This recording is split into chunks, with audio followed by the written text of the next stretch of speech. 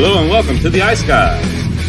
This is the show that takes you into the world of the National Hockey League. Every game, every day, from a betting perspective.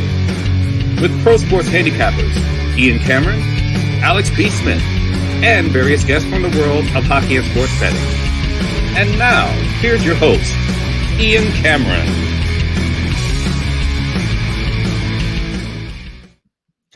Welcome to the Ice Guys, presented by Boston Hemp Inc. Saturday, April 20th. Ian Cameron, Alex B. Smith, Matt Robinson, a special Saturday appearance uh, on the show here after he was not able to join us Thursday. He's on today. It's actually better he's on today because the playoffs start today. So Matt's back with us. And Zach Urban, for a few weeks, we've missed him, our Saturday guy, but he is back in the rotation and ready to go for the Stanley Cup playoffs. So, Zach, we'll start with you because it's been a while. How have things been? And are you ready for these playoffs?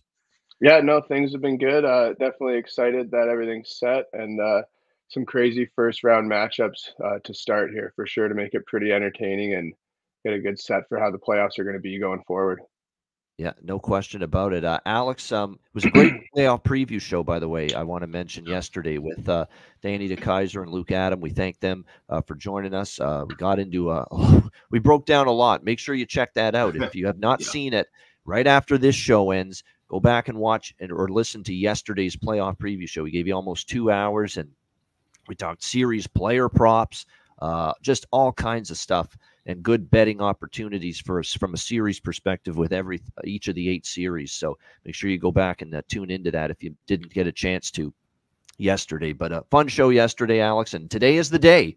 We've got yep. Stanley Cup playoff hockey in action today. Two games, four more tomorrow. Uh, the best time of the year, the first round especially, because you get games morning, noon, and night. These quadruple headers, like we're going to see tomorrow, uh, you just can't beat it. Yeah, absolutely. I mean, this is the best time of the year by far, and it's so nice. Like I said, we talk about it, you know, year after year now with the expansion of betting and a lot of these, uh, you know, the the now the standard American books, your MGM, your DraftKings, your FanDuel, having all these other options uh, to bet with these different series prices being able to bet on series prices adjusted during the series as well, game by game, really makes it even more exciting now than, than it was, say, 10 years ago. We just, you know, had to pick your spots here or there, get a few options to bet on before the series, and then try to make a few adjustments, uh, you know, game by game. So having, you know, such a wide open array of bets to choose from on top of these great matchups, like I said, you know, seeing uh, matchups that we haven't seen in, in, a long time. We're seeing matchups that we've seen for the third time or second time in recent years. Uh, so it should be a lot of fun. Can't wait for it. No doubt. And um, of course, Matt Robinson, fan of the Dallas Stars. You'd think he would wait until game one of the series before he gets all uh, filled with angst and anxiety and stress. He was stressing a couple nights ago, seeing the ending of those Vegas, Anaheim, Chicago, LA games, trying to figure out who the fuck his team was going to play uh, in the uh, first round because it was just nuts back and forth, back and forth. But it ended up being the Vegas Golden Knights. It's the series I want to see. I think it's the series a lot of people uh, want to see. Matt, I know you're excited for that, but you're a hockey fan too. You're excited for the entirety of the Stanley Cup playoffs starting today. Yeah, no doubt. And uh, at the end of the day, I didn't really care who they ended up playing. It was just how those last two games played out. And I know we were talking throughout, but – you know, Vegas kind of rolls over early in the third. It's like, okay, I guess we got Vegas. Like that's what's gonna happen. And then Chicago comes storming out and up four three on LA. Like it was fucking chaos. And it was all in like a 45 minute span. Um, but yeah, no doubt, super excited for the playoffs. Um, obviously excited Dallas is in it. Um, there's definitely been years of my lifetime that they're not. So, you know, always better when your favorite team's in the mix. Um, but as Zach mentioned, there's some great series all around the league.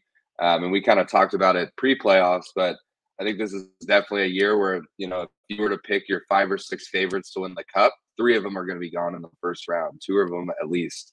Um, so it's definitely going to be an exciting playoffs, and uh, excited for it to start on a Saturday. It's a perfect day. It's going to be 75 and sunny here. I'm going to find a patio with a uh, with a TV on and, and watch the game and have a few beers. So I'm, I'm very excited for the playoffs to get going.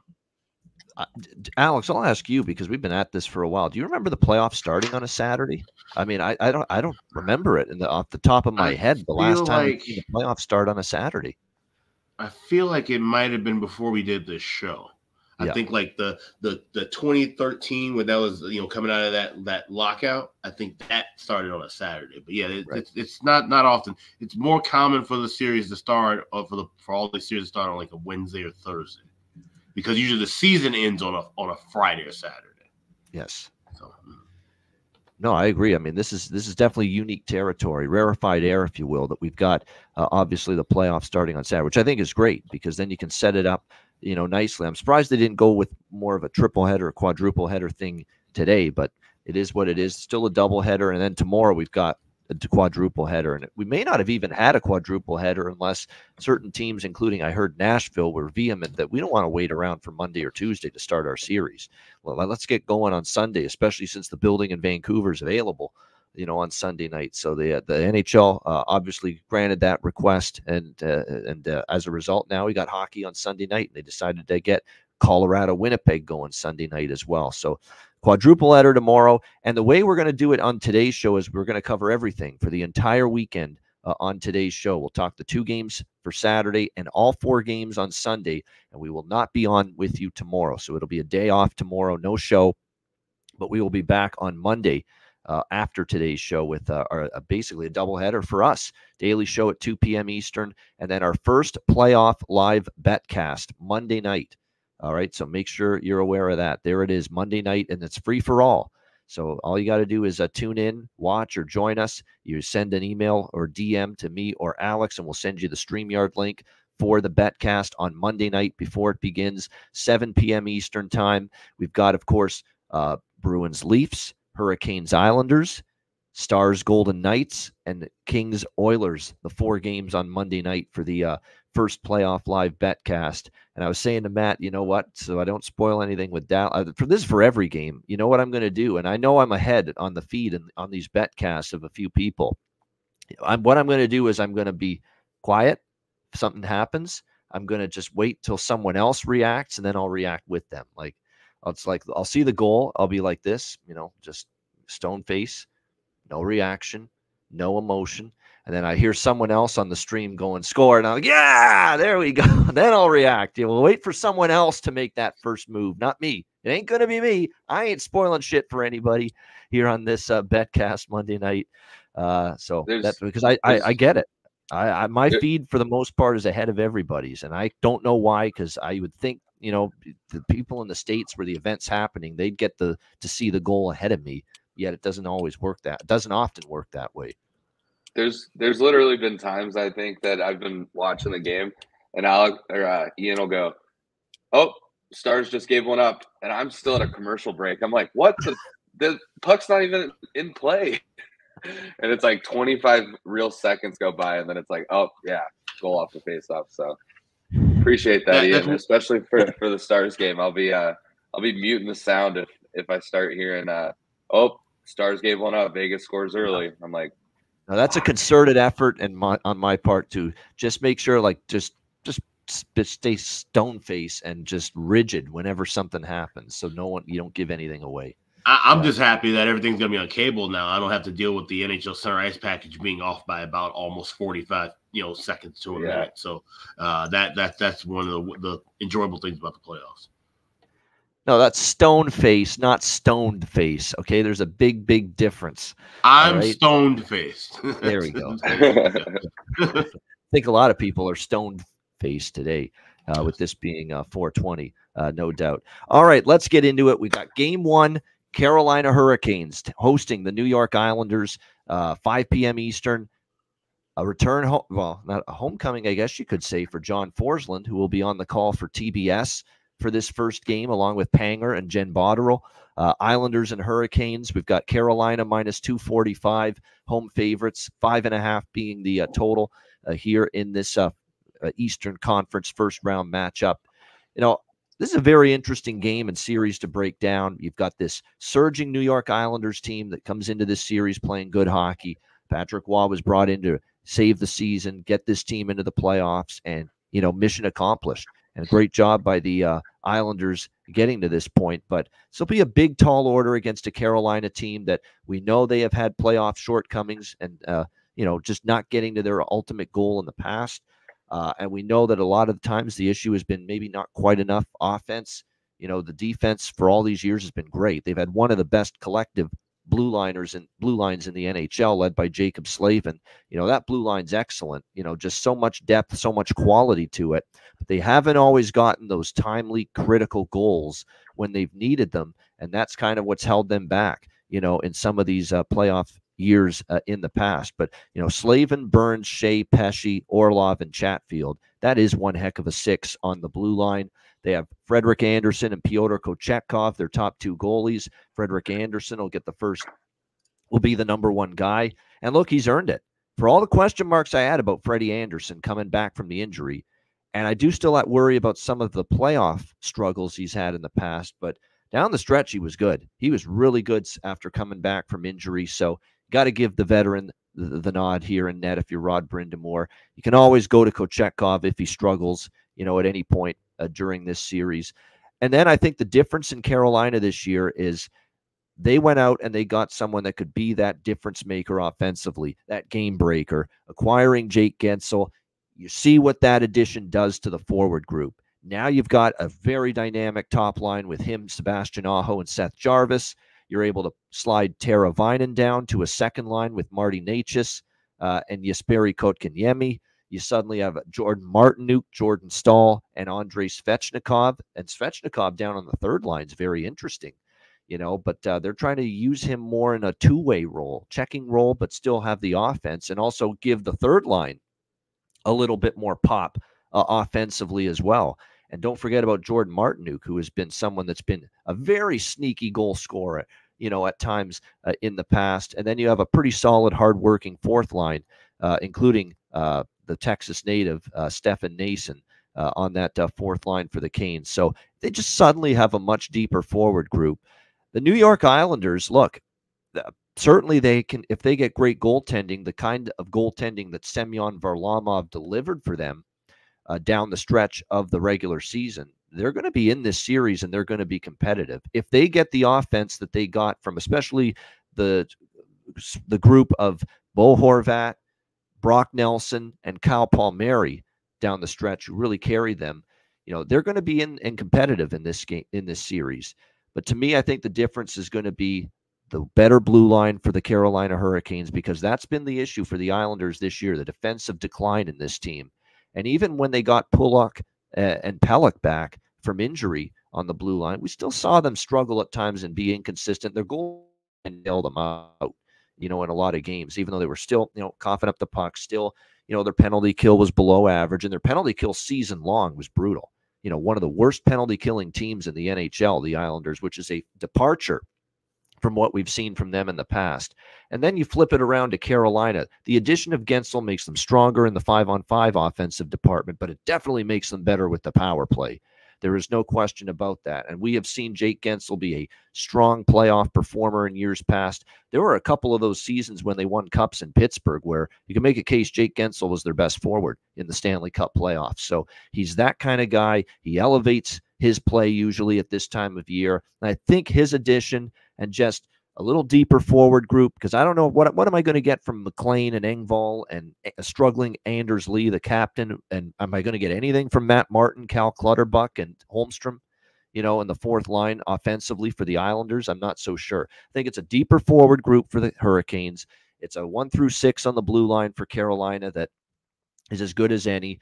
The uh, the only question would be in goal because Varlamov's been on fire and he's been great. And can Andersen shrug off the playoff struggles past and play like he did down the stretch in the regular season? If he does, this is Carolina's series to lose, uh, in my opinion.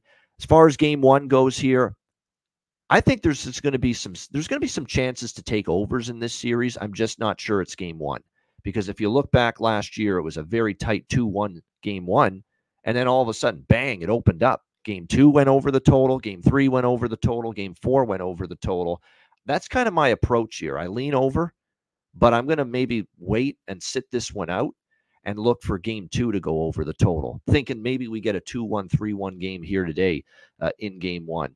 I, I, definitely think there's going to be some overs in this series, though, uh, as we go forward. Why? Because Carolina's a better offensive team this year. I'm convinced of it. With Jake Guentzel, they're a better offensive team this year than they were last year or two years ago in the playoffs. And I'm pretty sure the Islanders aren't as good defensively and we know their penalty kill has been bad. So I think that could show up at some point.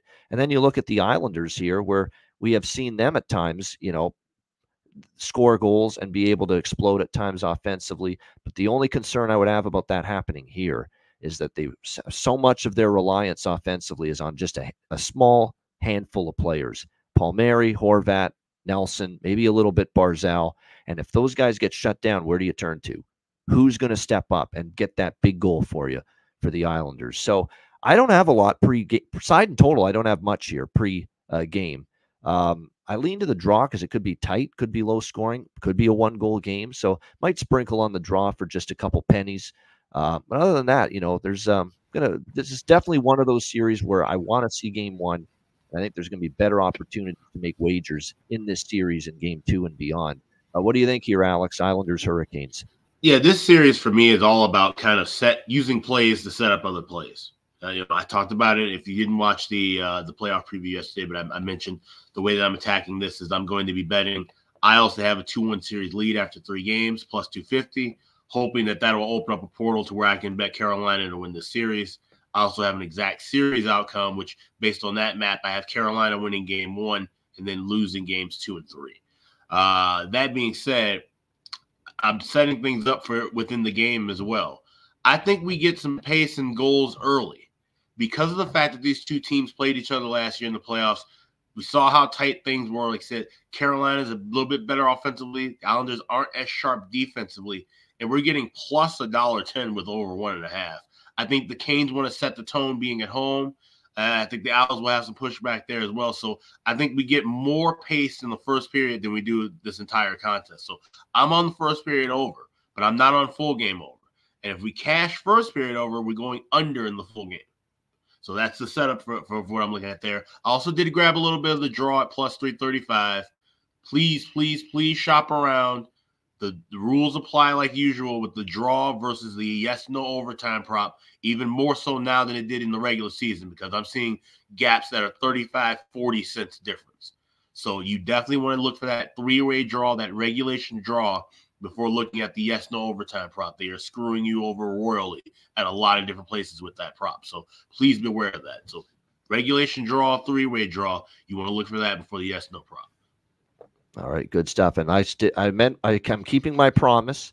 I will recommend the same game parlay with every single playoff game uh, on the show throughout the Stanley Cup playoffs. But I'll wait to hear from Matt and Zach, and then I'll go back around and mention what I'm on as far as the same game parlay here uh, in this one.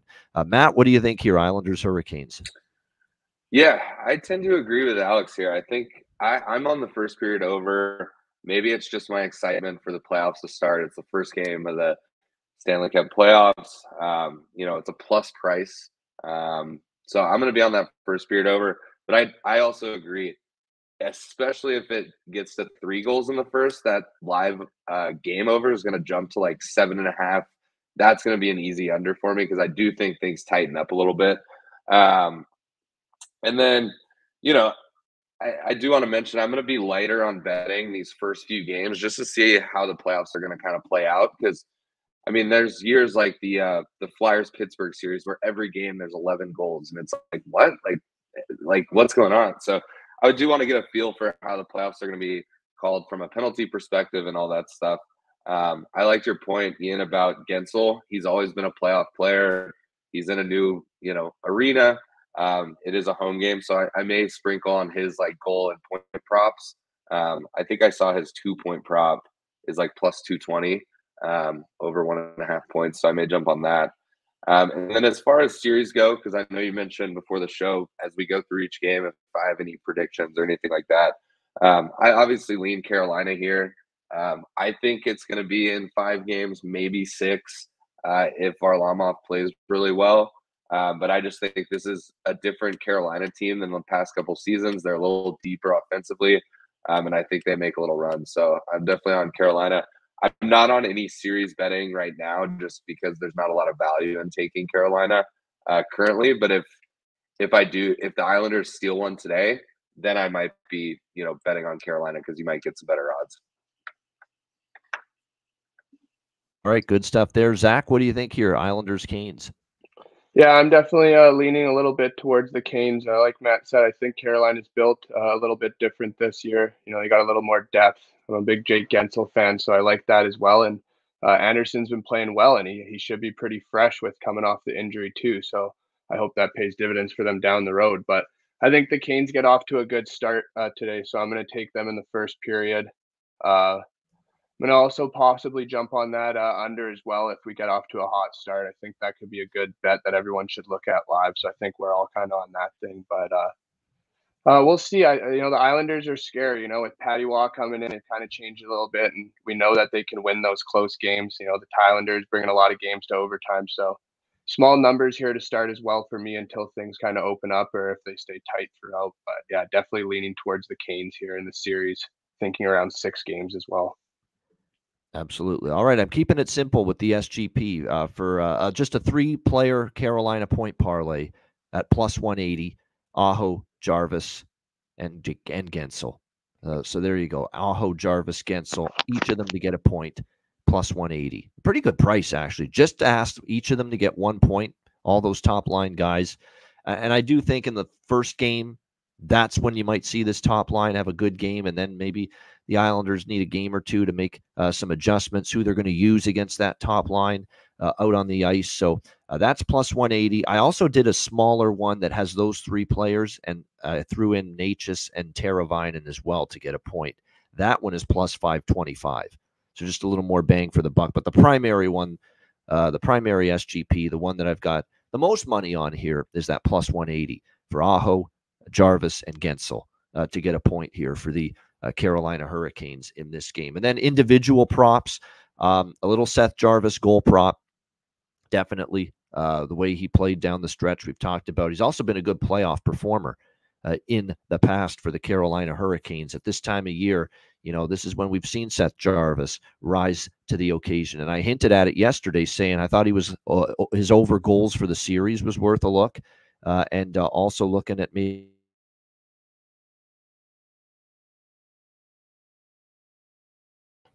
I think Ian's computer froze again.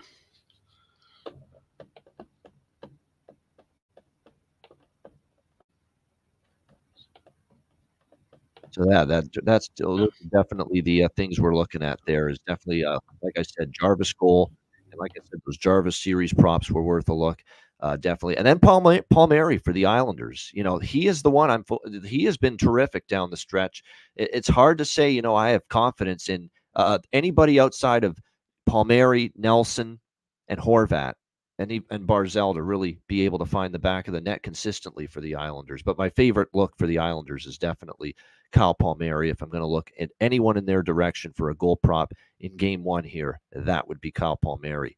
All right, next up, it's the second game on this Saturday. Uh, we've got the uh, Toronto Maple Leafs taking on the Boston Bruins. Boston minus 125, home favorites here in game one uh, and the total sitting at uh, five and a half or six. Make sure you shop around here because we're seeing five and a halfs at some books and six at others. So uh, shop around as far as the total is concerned here with the Leafs and the Bruins. This is a obviously a big rivalry, original six. Uh, there's history with these two teams. There's no question about that. You have to ask yourself though, who's got the advantage possibly going into a game one? Now the big news here is Suddenly, William Nylander showed up on the injury report and missed practice yesterday for the Toronto Maple Leafs, and he is a true game time decision for tonight for game one. Uh, Sheldon Keefe not tipping his hand, saying whether uh, William Nylander would play uh, here tonight for the Leafs uh, in game one. Uh, but definitely, we will uh, have to monitor that closer to a puck drop. But definitely, the Leafs hoping that they will have him available. Regardless, the key for the Leafs down the stretch, I think, is some creative lineup uh, changes, I guess you could say, from Sheldon Keefe. And what he was able to do was he put Max Domi, uh, obviously, with Auston Matthews down the stretch. And you certainly saw the chemistry that developed uh, with those two players on the top line together. They were awesome. Uh, there's no doubt. Uh, you know, he was a perfect playmaking option for number 34 down the stretch, uh, which was great to see for the Toronto Maple Leafs. And like I say, that really fueled you know, the uh, finish to the season uh, that Auston Matthews had. So going into this series, You know, you're still going to see that line intact. Auston Matthews with the two guys that were specifically brought in to the Toronto Maple Leafs to be the difference makers offensively at this time of year. Max Domi and Tyler Bertuzzi with Auston Matthews on that top line. I'm glad he's sticking with it because you know in the past we've seen him play with Marner and we've seen him play with Nylander uh, on the top line, but there's clear chemistry that's developed late in the regular season. Matthews with Domi and Bertuzzi. Keefe is sticking with that and rolling with it here in game one. Matthew Knies, John Tavares, and Mitch Marner, as of right now, the second line. Uh, Nick Robertson, Pontus Holmberg, third line. And again, Dewar, Kampf, Reaves, the fourth line. Noah Gregor is probably, or uh, Calle Jarnkrok, but I don't know if Calle Jarnkrok's ready to come back yet. Uh, it, uh, I think he's still going to miss this game, but I think Gregor would be the one that would come in if Nylander doesn't go. Uh, and then, of course, the blue line, they've decided, and this was a tough decision to do this for uh, Sheldon Keefe, but TJ Brodie is the odd man out on the Toronto Maple Leafs blue line. And I can't say it's a bad decision. TJ Brodie's not had a great year. We've talked about the mental struggles. We've talked about how much he's had going on off the ice that he's had to deal with and how maybe it's impacted his defensive play on the ice. We know he struggled in the Florida series last year as well. Uh, TJ Brodie he had a dreadful series, turnovers, getting knocked off the puck, not physical enough, not taking out the man in front of the net. Just had a terrible playoffs last year. So I think it's, and he didn't have a great season this year. He played a little bit better down the stretch, but I think they had made up their mind, the coaching staff, that look, I think right now our best six on the blue line does not include TJ Brodie. So it's Morgan Rielly, Ilya Lyubushkin, Simon Benoit, Jake McCabe, Joel Edmundson, Timothy Liljegren, uh, going to be the defenseman for Toronto. Ilya Samsonov, of course, starting goaltender. Uh, for the Boston Bruins, there was concern about Brandon Carlo's status uh, for game one, but it looks like he is going to be uh, good to go. It sure looks that way uh, for the uh, Bruins, and they should have pretty much everyone available to them Shattenkirk, Peeke, Grzelcyk, Carlo, Lindholm, McAvoy uh, on the uh, blue line. You know, the thing we talked about with Boston is, you know, the fact that in the second half of the year, they actually had that little stretch after Jim Montgomery put them through the bag skate where they played very, very well, uh, no question. But then they kind of tailed off after that. Before that moment, they struggled a little bit, the Bruins. You know, their play was very much uneven down the stretch. So uneven that basically they invited Florida to take the division from them uh, when it was all said and done uh, down the stretch. So when I look at this game and I look at a Toronto team that has to set the tone here, it's a Bruins team that's owned you in the past. Although those series, I do want to mention, it, own them in terms of the, the, the result, the win loss result. Let's not act like it was a sweep, those three series. You know, seven game series, all three previous Leaf Bruin series in the last decade. So Toronto was right there. They just couldn't get the big goal or the big save or a bounce of the puck at the right time. And they ended up falling short all three times. But it's not like they were just absolutely run out of the rink by the Bruins uh, in those three series. And I know that they've lost seven straight to Boston. They lost every regular season game this year to Boston. But I think there is an onus on Toronto, especially knowing that they played a little bit better on the road. That's usually been the way it's been for Toronto. Let's not forget what they did to Tampa in the first round on the road last year. They played better in Tampa last year in that first round series win against the Lightning than they did at home. I think this is a team that is comfortable playing away from home. They look almost more relaxed playing away from home. And then Sheldon Keefe drops the bomb after the Tampa Bay game. You remember that game, which didn't mean anything other than trying to get Auston Matthews to 70 goals, and they played like it. it was a bad game for the Leafs. But you know what Sheldon Keefe said after the game? It's the first time in my coaching career that during a game, I was actually looking at video of another opponent talking about the Boston Bruins. So the coaching staff of the Leafs in the intermissions in Tampa Bay the other night, they're actually breaking down film on Boston. So, uh, to me, that's a clear warning sign that look, the coaching staff didn't give two shits about the Tampa game. You could maybe even argue the Florida game as well, and probably the players. It probably trickled down to them that you know the coaching staff's not paying any attention to Tampa Bay here in a meaningless game. Why should we? The focus was on Boston. In the dressing room, the chatter in the intermission was about Boston. And that tells me that the Leafs, from a mental standpoint at least, are dialed in. I think, going into game one tonight to maybe get off to a good start. So I like Toronto here. I'm going to take them in game one here, plus 110 uh, tonight in this spot. Um, I think this is a very important uh, spot for them tonight to get to, to set the tone, to get off to a good start. The one thing they've noted too about last year, even when beating Tampa Bay, not getting off to a good start in game one, fixing that this year. Domi's talked about it. Matthews has talked about it. That we need to start playing better in game ones because we dropped game one to Tampa last year. Now they did win that series, but they lost game one. And we know they lost game one, obviously, against Florida as well in the second round. So I think this is definitely a Leaf team that is focused and a, a Bruins team that has enough vulnerability that I think in game one, the Leafs might be able to uh, get the job done. So for me, I like Toronto here, plus 110. This is one where I like the first period over a little bit uh, here as well, more than the full game over. I was tempted at five and a half, but the, the first period over, I think, can get there. Uh, we get the kind of start where both teams are aggressive early. We do have, you know, Samsonov, who's been great for most of the second half. Still some questions. And I think even with Boston, their goaltending leveled off to a certain degree late in the season as well. So a little first period over, but primarily here, like in Toronto, plus 110. Uh, Alex, what do you think here? Leafs Bruins game one. Yeah, I like Toronto uh, in game one of this series as well. Like I said, that quote from Keefe uh, told me a lot. They're ready for this playoff series where the quote we're hearing from Jim Montgomery the last uh, you know few post game press conferences weren't, weren't as stable. You know, Jimmy Murphy was kind of talking with us about that as well. That maybe there's a little bit of, of hesitation going on. Like, you know, obviously we know the mental hurdles that Toronto has to get through every postseason, but think about Boston. Yeah. This team's not as sharp as they were a year ago at this time. A year ago at this time, we thought they were locked and loaded, ready to go on and win the Stanley Cup after having the greatest season ever, have a 3 1 lead and completely blow it. So they might be a little shaky if they lose the first game, where everybody's thinking, oh, if Toronto loses the first game, here we go again. Maybe Boston might have that a little bit more in their psyche. And I think that's where Toronto can, you know, quiet the crowd. And that's the biggest thing we talk about with teams on the road. If you're a good team on the road, you got to establish pace early, take the crowd out of it just as well as taking your opponents out of it. And so, like I said, I would be looking for first period over, but because this is $1.18, $1.20, I'm going to wait and try and grab that live, but I definitely like Toronto on the side here. And I have, like I said, I don't have a side winner necessarily as far as series goes. I like this series to go six or seven games. I have both sides to win in six, both sides to win in seven. So what I will be adding to the portfolio for the series will be Leafs to win game one, Leafs to win series. See that right now at BetMGM plus 200. And I also have Leafs to win game one, Bruins to win the series plus 425. So once again, just kind of adding on to the stack of, of making some profit, whoever wins the series.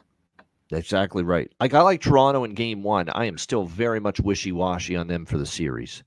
That I do want to point that out. I picked them in the bracket, Toronto, but uh, I have not bet Toronto yet to win the series. I'm only on them here in game one tonight because I do think it lines up that um, I do think they bring a, a heck of an effort tonight. Uh, it, has got the everything. It's, it sounds like they've been invested in preparing for the Boston Bruins for uh, several days as soon as they knew. And, you know, they're talking about preparing for Boston when they're still playing their final regular season game. So I actually think that's a good thing uh, here for the Leafs. So what do you think here, Matt? Leafs Bruins. Yeah, so I'm I'm big on the Leafs in this series, to be honest with you. Um, I think I think the matchup karma, uh, I mentioned it, you know, Boston kind of fizzles out, doesn't look like they're even trying. I think that's going to come back to haunt them. Um, and I do think this is a little different Toronto team than maybe the past couple years. You had guys like Domi and Bertuzzi; those are great playoff guys. Um, you know, when Dallas had Max Domi last year, I would have loved to see him get re-signed. Like he's a guy that you want on your team in the playoffs. So, um, and I think it starts tonight. Um, I am on an over bifecta. Again, nothing huge betting wise, but I am on over one and a half and over five and a half, um, respectively. Um, and then I am on Toronto uh, to win the game. Um, I'm thinking about taking a Toronto first period money line. Again, if it's a tie, you get your money back. So not a puck line, just a money line because it's right around even money. Um, but I think they need a hot start if they're going to win. And then a prop that I love in this game. Um, just because of how it didn't happen for him to get 70. I think it's just one of those things. I think Matthews scores the first goal tonight. So um, I'm going to be on that a little bit. I think it's just one of those things where he tried so hard to get 70, didn't get it, and he's going to score like two minutes into the game tonight and uh, and get that first one. So I'll be on that prop as well. All right, yeah, Zach. Toronto here. Oh, sorry. And Oh, uh, as far as series goes, um, I don't have any series bets, but I think I will put one in pregame on Toronto. Um, I think Toronto wins it in six. All right, Leafs and six for uh, Matt with the, this one. Uh, yeah, this is a good series. Uh, Kenny Albert, Eddie Olczyk, and Brian Boucher for TNT tonight. Uh, not T. Uh, sorry, TBS. Got to keep reminding myself. TBS. It's still Turner, but it's TBS for uh, the two games to, uh, today because the basketball is on uh, TV. uh, what do you think here in this one, uh, Zach? Toronto, Boston. Yeah, um, I think you guys are sleeping on the Bruins a little bit. Uh, I think they're a little bit choked, obviously, with how things ended up last year. They also haven't been out of the first round since 2021, so that's pretty big for their organization, I think, as a whole. So, you know, they've got some guys that have been there for a while. No Bergeron this year, but uh, Zacha and Coyle have really picked it up through the center ice for them, and I think they're going to get off to a good start in this series and take Game One. So I'm I'm leaning towards Boston here in Game One, uh, for sure. Uh, I've never been a Leafs fan, so that might have a little bit to do with my pick here. But I, I just I don't really see Toronto beating Boston four out of seven games here. So uh, I do agree with you, like you said, like uh, you know Toronto's been really preparing for this series as soon as they knew, but who says Boston hasn't, right? So we don't know what's going on maybe as much over there, but the only thing that kind of scares me a little bit in Boston is I know it's kind of a weird thing to say, but their goaltending, just because they do have two studs essentially, and you know you don't want to have that controversy of like who to play or if someone has a bad game or you know if the Leafs do get up early in the series or something like that, and you're playing a guessing game. So they seem to act like they know exactly what their plan is with their goalies, even though they haven't even confirmed who's playing for sure yet today. So I don't know if they're trying to play a little bit of mind games on the other side or not, but definitely leaning towards Boston this series. I've got them in six in my bracket, so screw the Leafs. I'll tell you what, if you're, if you're, I, I love it. That's all right. It's all good. All my buddies are from out east that I played hockey with, went to school and pro. So almost of them from Ontario, so they're huge Leafs fans, and I've been hearing it for years. So it's Right. it's been fun for me. So hopefully that trend continues. Yeah, no doubt. No, uh, they, they've had a lot of misery. And look, if there is nothing history wise that would say t- t- that would tell you, yeah, bet Toronto in this series. Nothing. And like the thing Yeah. too is Yeah. like I don't really have much confidence in their goaltending in Toronto, and I, I find that you know you need that big save for you know in the playoffs, and you know maybe you need a game where he saves forty, and I, I don't know if maybe Samsonov has that. I don't, I don't think he has it for the duration of playoffs, but Yeah. it'll definitely give me a little bit more confidence if they can bounce uh, past the Bruins. You know that could be a little bit of their Achilles heel in a way where they can fly through after that, but who knows? I get Ian. You can vouch for this. I said it going far back as maybe right after the All Star break that I wanted to fade both of these teams in the first round. Yeah. That, that I, I don't trust. We're either one of splitting hairs teams. in this That's So- what I mean. We're getting a great matchup right away. It's crazy, but yeah, It is a, but it leads to it. It's a tough series to predict, but it's a great matchup to watch. It's a great Yes, series sir. to Yeah. watch because there's vulnerability with both teams, big time going into this. There's vulnerability every year with Toronto going into the playoffs, but I think there's vulnerability with Boston this year more than in a very long time. You know, let's not act like there's not skeletons in their fucking closet. You know, after completely blowing it last year uh, against the uh, Florida Panthers in the uh, first round. What I like too is that the Leafs in years past look like they've been scared, scared on the ice, scared to make a play, scared to take a hit, scared to do the little things to win in the playoffs. I think they're going to have more backbone collectively as a team because you got a McCabe, you've got a Lyubushkin back in the fold, you got Edmundson now who's going to crack skulls. Ryan Reaves now is going to be on the ice and ready to make sure no one starts shit with Auston Matthews or anybody. I think that does help them. It gives them a little more collective. Hey, we, maybe we can throw our weight around now, and we're not going to be so scared and timid out there, which you know has been their issue at times, uh, obviously in the past. But that's a great game and great series. I'm looking forward to Leafs and Bruins Saturday night tonight. That one starts. All right, we've got four games on Sunday. Oh, by the way, the the um same game parlay for this is just uh, a two player goal parlay for me here. Zacha for Boston, Bertuzzi for Toronto.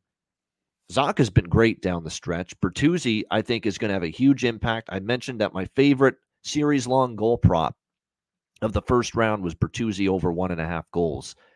At what, even money plus a 100? I couldn't believe the price for that. I think he absolutely gets two goals minimum. I think he could even get three or four. He's playing with Matthews. Uh, he goes to the tough areas of the ice to score goals. So Bertuzzi over one and a half goals in the series. I love that bet, and uh, I like him to score tonight uh, as well. I like Matthew Knies and Nick Robertson as well. A little sprinkle on both of them uh, for the Leafs. Uh, now this will be a second year in the playoffs for Knies. Nick Robertson's getting an opportunity. He's been a nice uh, offensive boon for them down the stretch. And then for the Bruins, Zacha stands out for sure uh, as far as goal scoring. Jake DeBrusk, I think, is someone too in the playoffs. He's capable of elevating uh, as well. So, uh, but definitely Zacha is my favorite uh, Bruin uh, prop, point prop, goal prop, you name it. he's been very good down the stretch think it wouldn't surprise me to see him make an impact tonight. All right, Sunday, we've got the bat. How about this to start the Sunday slate? The Battle of Florida, game one, Tampa Bay Lightning, Florida Panthers, Florida minus 170, uh, home favorites, uh, five and a half being the uh, total uh, here in this game. Uh, you look at this matchup, it should be phenomenal. Dislike, animosity, regional rivalry, a little bit of history too because the Tampa Bay Lightning swept the Florida Panthers four straight two years ago uh, in the playoffs. But really, ever since that sweep by Tampa over Florida, which led to the uh, ouster of Andrew Brunette at the time and led to Paul Maurice coming in as the head coach, really ever since that time, Florida's owned this series. You know, in the regular season, they've they've been better than Tampa last year, this year as well, uh, and they look ready or certainly primed to take the mantle of we're the best team in this state right now. Uh, and we will see if they can follow through on it here. That being said, you still have a, uh, uh, the hearts of champions for Tampa. Jon Cooper, a phenomenal coach, a, one of the best goalies in the NHL in uh, Andrei Vasilevskiy. And of course, you got a core in Steven Stamkos, Brayden Point, and Nikita Kucherov, the historic season he had, and Victor Hedman that aren't going to go down without a fight. I totally respect that side of it. Not going to be easy for Florida, but then you peel back the layers and you start to look at this matchup in, more in depth. Tampa Bay is a really reliant team on the power play. And that's going to be something that is going to be critical. It's going to be critical for Florida, who's actually a solid penalty kill team, but it's going to be important still to stay out of the box and maintain discipline. Will they be able to do that? Is the question because so much of their game is hacking and whacking after the whistle, getting in scrums, pushing and shoving after the whistle. And sometimes that aggressiveness physically, especially getting involved in all that stuff after the whistle, gets them the extra penalty. And if they take those extra penalties here against Tampa Bay, that power play is so good it could make them pay. So that's the big concern you have for if you're Paul Maurice and the Panthers. But if this series stays at five on five even strength, Florida's the much better five on five even strength team. Tampa Bay was not a great five on five team uh, this season.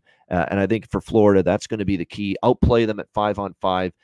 Make sure your penalty kill is strong and don't take as many penalties. And that's going to be your key to success. Again, we've seen Vasilevskiy's numbers for the season flirting around a near three goals against and a 900 save percentage, which are not typical great numbers from Andrei Vasilevskiy. We obviously saw what Sergei goalie Bob did last year, Bobrovsky in the playoffs, playing so well for the uh, Panthers. I do think the Panthers win the series. Game one, I'm not betting aside, though, uh, as far as this is concerned. I know you've been waiting for it. You said, Ian, you're Mr. Over. You haven't gotten involved in anything yet as far as overs go. That's changing right here. Uh, this is my first over bifecta uh, of the uh, game ones. Uh, I like first period over. We're not jumping off the ship with Tampa Bay, even though the playoffs have started. What's the run now? 22 and 5, 22 and 6, something like that now with Tampa Bay first period overs. And certainly at five and a half, and shop around because there are multiple books that have this total at five and a half. Some have six, but a lot of them still have five and a half out there. At five and a half, there is no question I'm on over the total. If you actually look at the regular season, the last two meetings have gone over the total. We saw that 9 2 beatdown by Florida in one of the games. We saw what, 6 3 uh, in the other game as well. Lots of goals. So I think this game, you know, especially with the animosity, you're going to see chippy play. You're going to see more penalties, more power plays. I think there will be goals in this series starting with game one on Sunday afternoon. Alex, what do you think here? Lightning, Panthers. So, yeah, just to kind of recap uh, things that I like in the series, I like Florida to win this series.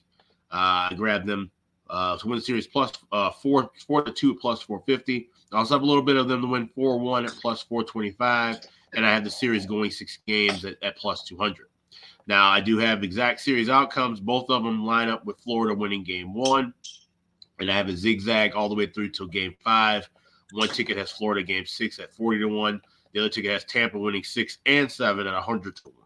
So just wanted to kind of give a quick recap. So no side play uh, on this game individually. I do like the first period over, of course. That's 21 and 6. Now the last 27, uh, ending the regular season with Tampa Bay going over in the first period. We're getting a dollar eight fifteen to, a dollar twenty, so that's definitely a worthy price uh, with that. That's probably the only thing I'm going to be be looking at as far as pregame goes. Everything else just be kind of adjusting in game. Early start time. Florida's kind of used to playing these earlier day games now over the last couple of years since they've been a good team, since they made the playoffs. They shouldn't be rattled by that. Like I said, this is going to be uh, a back and forth series. I think we're going to, like I said, see animosity and hits early. This might be one of those series. I'm kind of trying to bring that up the price now, where we look at that uh, over power play goals. Ian kind of kind of mentioned it and alluded to that. You can get total power play goals over one and a half plus 134 at FanDuel. So I'll be adding that to the card as well. First period over one and a half minus 120, over one and a half power play goals in the game plus 134. Uh, those are the only pregame looks I have for game one in the series. That's actually not a bad look at all the over one and a half power play goals because we know Tampa's going to do probably if they're going to most of their damage wouldn't shock me would be on the power play uh, in this series because of how good it is and uh, five on five the offense doesn't always flow so naturally for the Lightning. Meanwhile, Panthers I think have a underrated power play. Not a lot of people talk about Florida's power play being good, but it is capable of being very good. Uh, and I think it can be in this series as well. So that over one and a half power play goals I think that's something you'll be able to bet every game in this series, and you'll probably cash it more often than not if you ride with that prop every game because I think the power plays both sides, especially Tampa Bay's. You know, we know how good it is, uh, and uh, definitely can make an impact from a scoring perspective in this series. Uh, Matt, what do you think here, Lightning Panthers? Yeah, this is your classic series that I have no idea what the outcome is going to be, but I'm. It's one of the series I'm most excited to watch. Um, coming into the playoffs, or, or maybe like a month, month and a half ago when Florida was really rolling, Tampa was sort of skidding. I would have thought no chance. Like Tampa's a first round exit. Florida's like my Florida and Carolina have always kind of been my Eastern Conference, you know, favorites. Um, but then when I saw this matchup land the way it did, I'm like, I don't know, maybe Tampa takes it. So I go back and forth on the series. I think it's going to be a great series. As far as uh, game one goes, I'm I'm with you, Ian. I like the over by Fecta.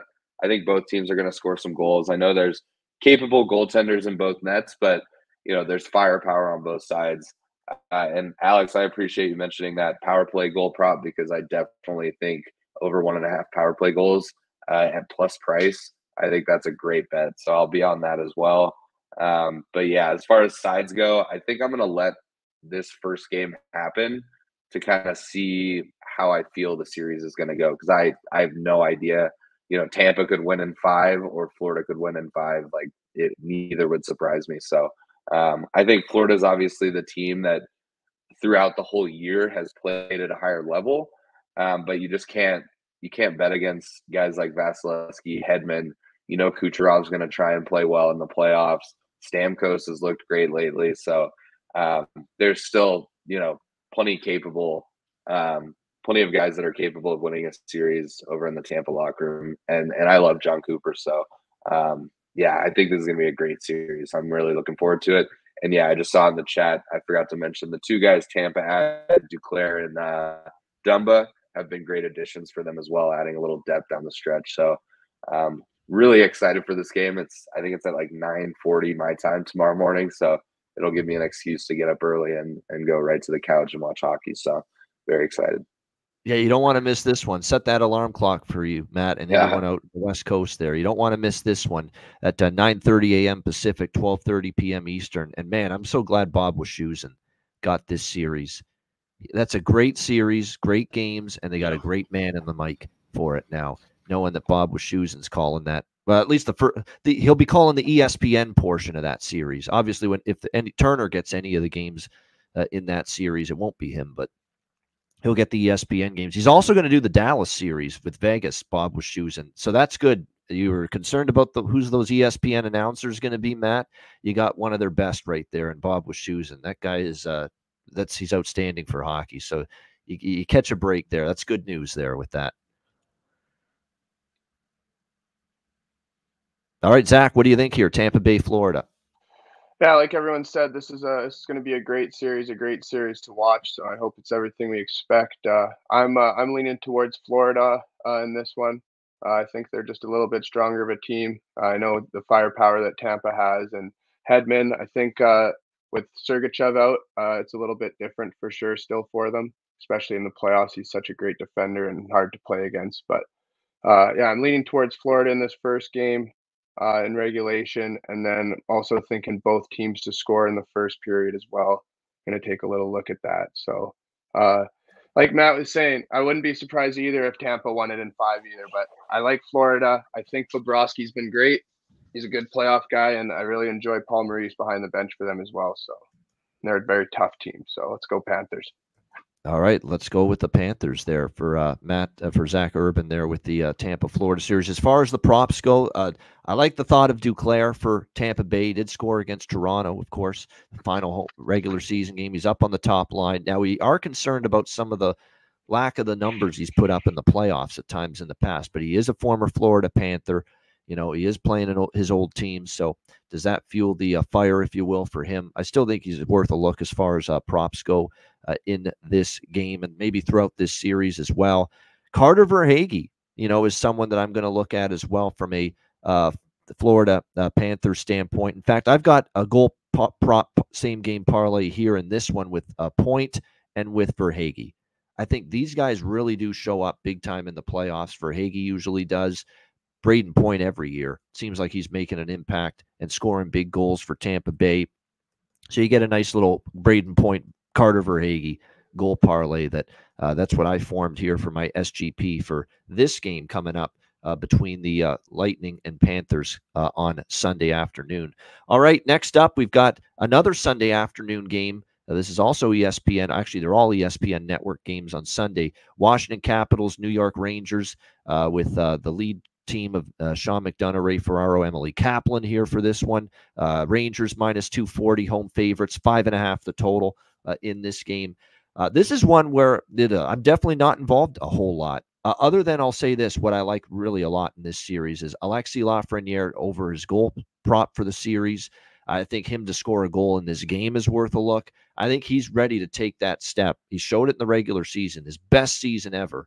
Uh, and he, I think, is ready to have a, a really impactful playoffs for the uh, New York Rangers. You know, you should get, you know, pretty good play from Panarin because he's been very good all year. Kreider's going to do his thing on the power play, especially. Uh, Zibanejad has the tendency to up the ante in the playoffs at times, but I think Lafreniere is that one that's going to really, you know, bust out here for the Rangers and say, you know what, I'm ready for prime time because he finally had that display uh, in the regular season. And I definitely think you're going to see more of that here uh, moving forward uh, in this first round series. The key for the Capitals is Spencer Carbery and the Capitals found a style that worked for them down the stretch. Tight checking, almost like a 90s Devils approach, you know, low scoring, great goaltending, and let's hope that carries us to victories. Look at how they played down the stretch. The Detroit game, the Philadelphia game, which got them into the playoffs. This is not those high flying Capitals from seven, eight years ago with uh, Bruce Boudreau coaching them. You know, they got into a lot of four, three, five, four games. No, they're trying to win the low scoring games because I think they realize, you know, we're not, we're very top heavy. Once we get past Alex Ovechkin and Wilson and Dylan Strome, there's not a whole lot there. And look, TJ Oshie's scuffling right now. He really didn't do a whole lot down the stretch. I'm wondering if he's hurt. I'm wondering if he's 100% healthy at this stage of the year, TJ Oshie, because he didn't really uh, have a phenomenal finish to the season by any stretch. So, you know, the offensive options for this team are limited right now. You know, there was a for some of these games down the stretch, John Carlson's been like their best best offensive weapon and he's a great defenseman, that still shouldn't be the case. So it tells you how much this team has kind of been struggling uh, here to score goals down the stretch. So as far as this total goes, and with the Rangers, they're one of those teams that hey, you want to open things up and run and gun, trade scoring chances, we'll play that way. You want to dumb it down, you want to play tight, you want to play a lower scoring battle, we, we can play it that way as well. So the Rangers are one of these teams that will sometimes dance the way with the opponent the way the opponent wants to go. Uh, you know, if the it's like that uh, uh, dance partner You know, if the dance partner wants to dance to hip hop, you dance to hip hop. You know, if the dance partner wants to dance to jazz, you dance to jazz. That's basically the Rangers. If they if you, if you're going to open it up against them, they can play that way. If you want to slow it down, you want to play tight checking, defense first approach, they can play it that way uh, as well. Now in the regular season between the uh, Capitals and the Rangers, um, we did see more unders than overs. Three of the four games stayed under the total. Uh, including a two to one game the last time they faced off in New York. In fact, they played a back to back a weekend in January uh, and both of those games stayed under the total. One was 3 2, the other was 2 to 1. That's the kind of series I think this is going to be because I just think the cat, and look, Charlie Lindgren has. Uh, I'm, I'm reluctant to doubt him, at least right now, because he's been so great down the stretch. Uh, he's a big part of the reason why they got into the playoffs. Um, and he's got the potential if he makes these 30, 40. You know, it's going to be a good prop in this series. And, uh, and we don't talk about it as much as we could and that's the goalie saves prop. I mean, Charlie Lindgren over saves, I think, is going to be a good bet in this series. So I think the Rangers will carry play. I think the Rangers will generate a lot of shots, a lot of chances, and he's going to be called upon to face a you know a lot of pucks and a lot of shots. You know what's that old saying? He's going to face more rubber than a dead skunk on the side of the road. That's going to be a Charlie Lindgren uh, here in this uh, game for in this series potentially for the Washington Capitals. Uh, because so uh, the Charlie Lindgren over saves prop, I probably will jump on that uh, here for game one, and probably may look at that uh, a lot throughout this series. But as far as the actual individual game one, I'm off it totally, side and total, pre-game. Um, I think the Rangers win, but the value it's hard to find it at minus 240. And because I think it could be a close, lower scoring game, I don't find the value in a regulation or a, or a puck line with the Rangers. Total, I think, could go either way. And uh, uh, five and a half, I actually lean under, but five and a half is always that tricky number to go under. I lean to the draw, but I'm also worried, as someone in the chat mentioned, you know, with Washington, um, they really had to put themselves through the mental physical ringer to get into the playoffs. Maybe they're a little gassed going into game one, and the Rangers turn it into like a four to one type of win. So even I don't like the draw too much in this game, which is why for me, this is one of those we'll just sit back and watch. I will have some props I'll mention in a moment, but we'll just sit back and watch, and we'll make uh, decisions on what we do for game two based on what happens here on Sunday afternoon at MSG. Uh, Alex, what do you think here? Capitals, Rangers. Yeah, I said yesterday in the preview. This is a, a live series for me. I don't have any plays uh, in the series. I don't have any game any plays really for game one. Uh, and this will be I'll be watching this game live, seeing how the pace and, and how things go, and then looking for adjusted prices in the series uh, moving forward. So it was kind of boring, but that's just the, the take that I have with, with this game. Once again, I, I, I look to fade Washington. I believe the Rangers win this series. I don't think Washington makes this this thing close. If they do, it has to be relying on them winning game one. Games one and two, you have you have to take one of these two game in games in New York if you're really going to stand a chance, honestly. And, and that's the thing, because of how they had to play down the stretch, they've already been playing playoff hockey. Is this team really going to be, uh, you know, still have the energy level to keep up with a Rangers team, like I said, that's adaptable. That's why the Rangers are, are, are, the team that win the President's Trophy. They can adapt to play any style you want. So Washington wants to slow it down, which had seemed like logistically would be the best move, to kind of take the firepower away from New York. But New York can can play that tight game as well. And, and then when you need somebody to chip in and get a goal, who can you really count upon? Uh, if you're Washington. Now, if, you, if, it's a more open game, you start getting those other lines mixed in. Uh, you know, Ovechkin and Wilson don't have to be the top guys. You get Sonny Milano involved, get some of those bottom six forwards involved in, in a bit of a boat race. But can Lindgren make those big saves when he really needs to? That's the other question mark there. So just looking for things live in, in the game and, and waiting for something to matriculate after game one as far as series goes. All right, good stuff. Matt, what do you think here? Caps Rangers. Yeah, I'm in a similar boat here. I mean, I feel like the obvious pick is the Rangers. They've been playing well down the stretch, um, really all season, obviously, to win the President's Trophy. Um, for that reason, the odds are kind of obviously skewed towards the Rangers. Um, as John Massey's mentioned before on the show, I do think the Rangers make it tougher on themselves uh, than it has to be. Uh, so I could see Washington winning this game. Um, I just don't know if if Washington's out of gas, they finally or they really had to fight to get into the playoffs. There's five teams in the mix. You know, they're the ones that come out on the other side. Um, you know, I could see this being a Rangers sweep.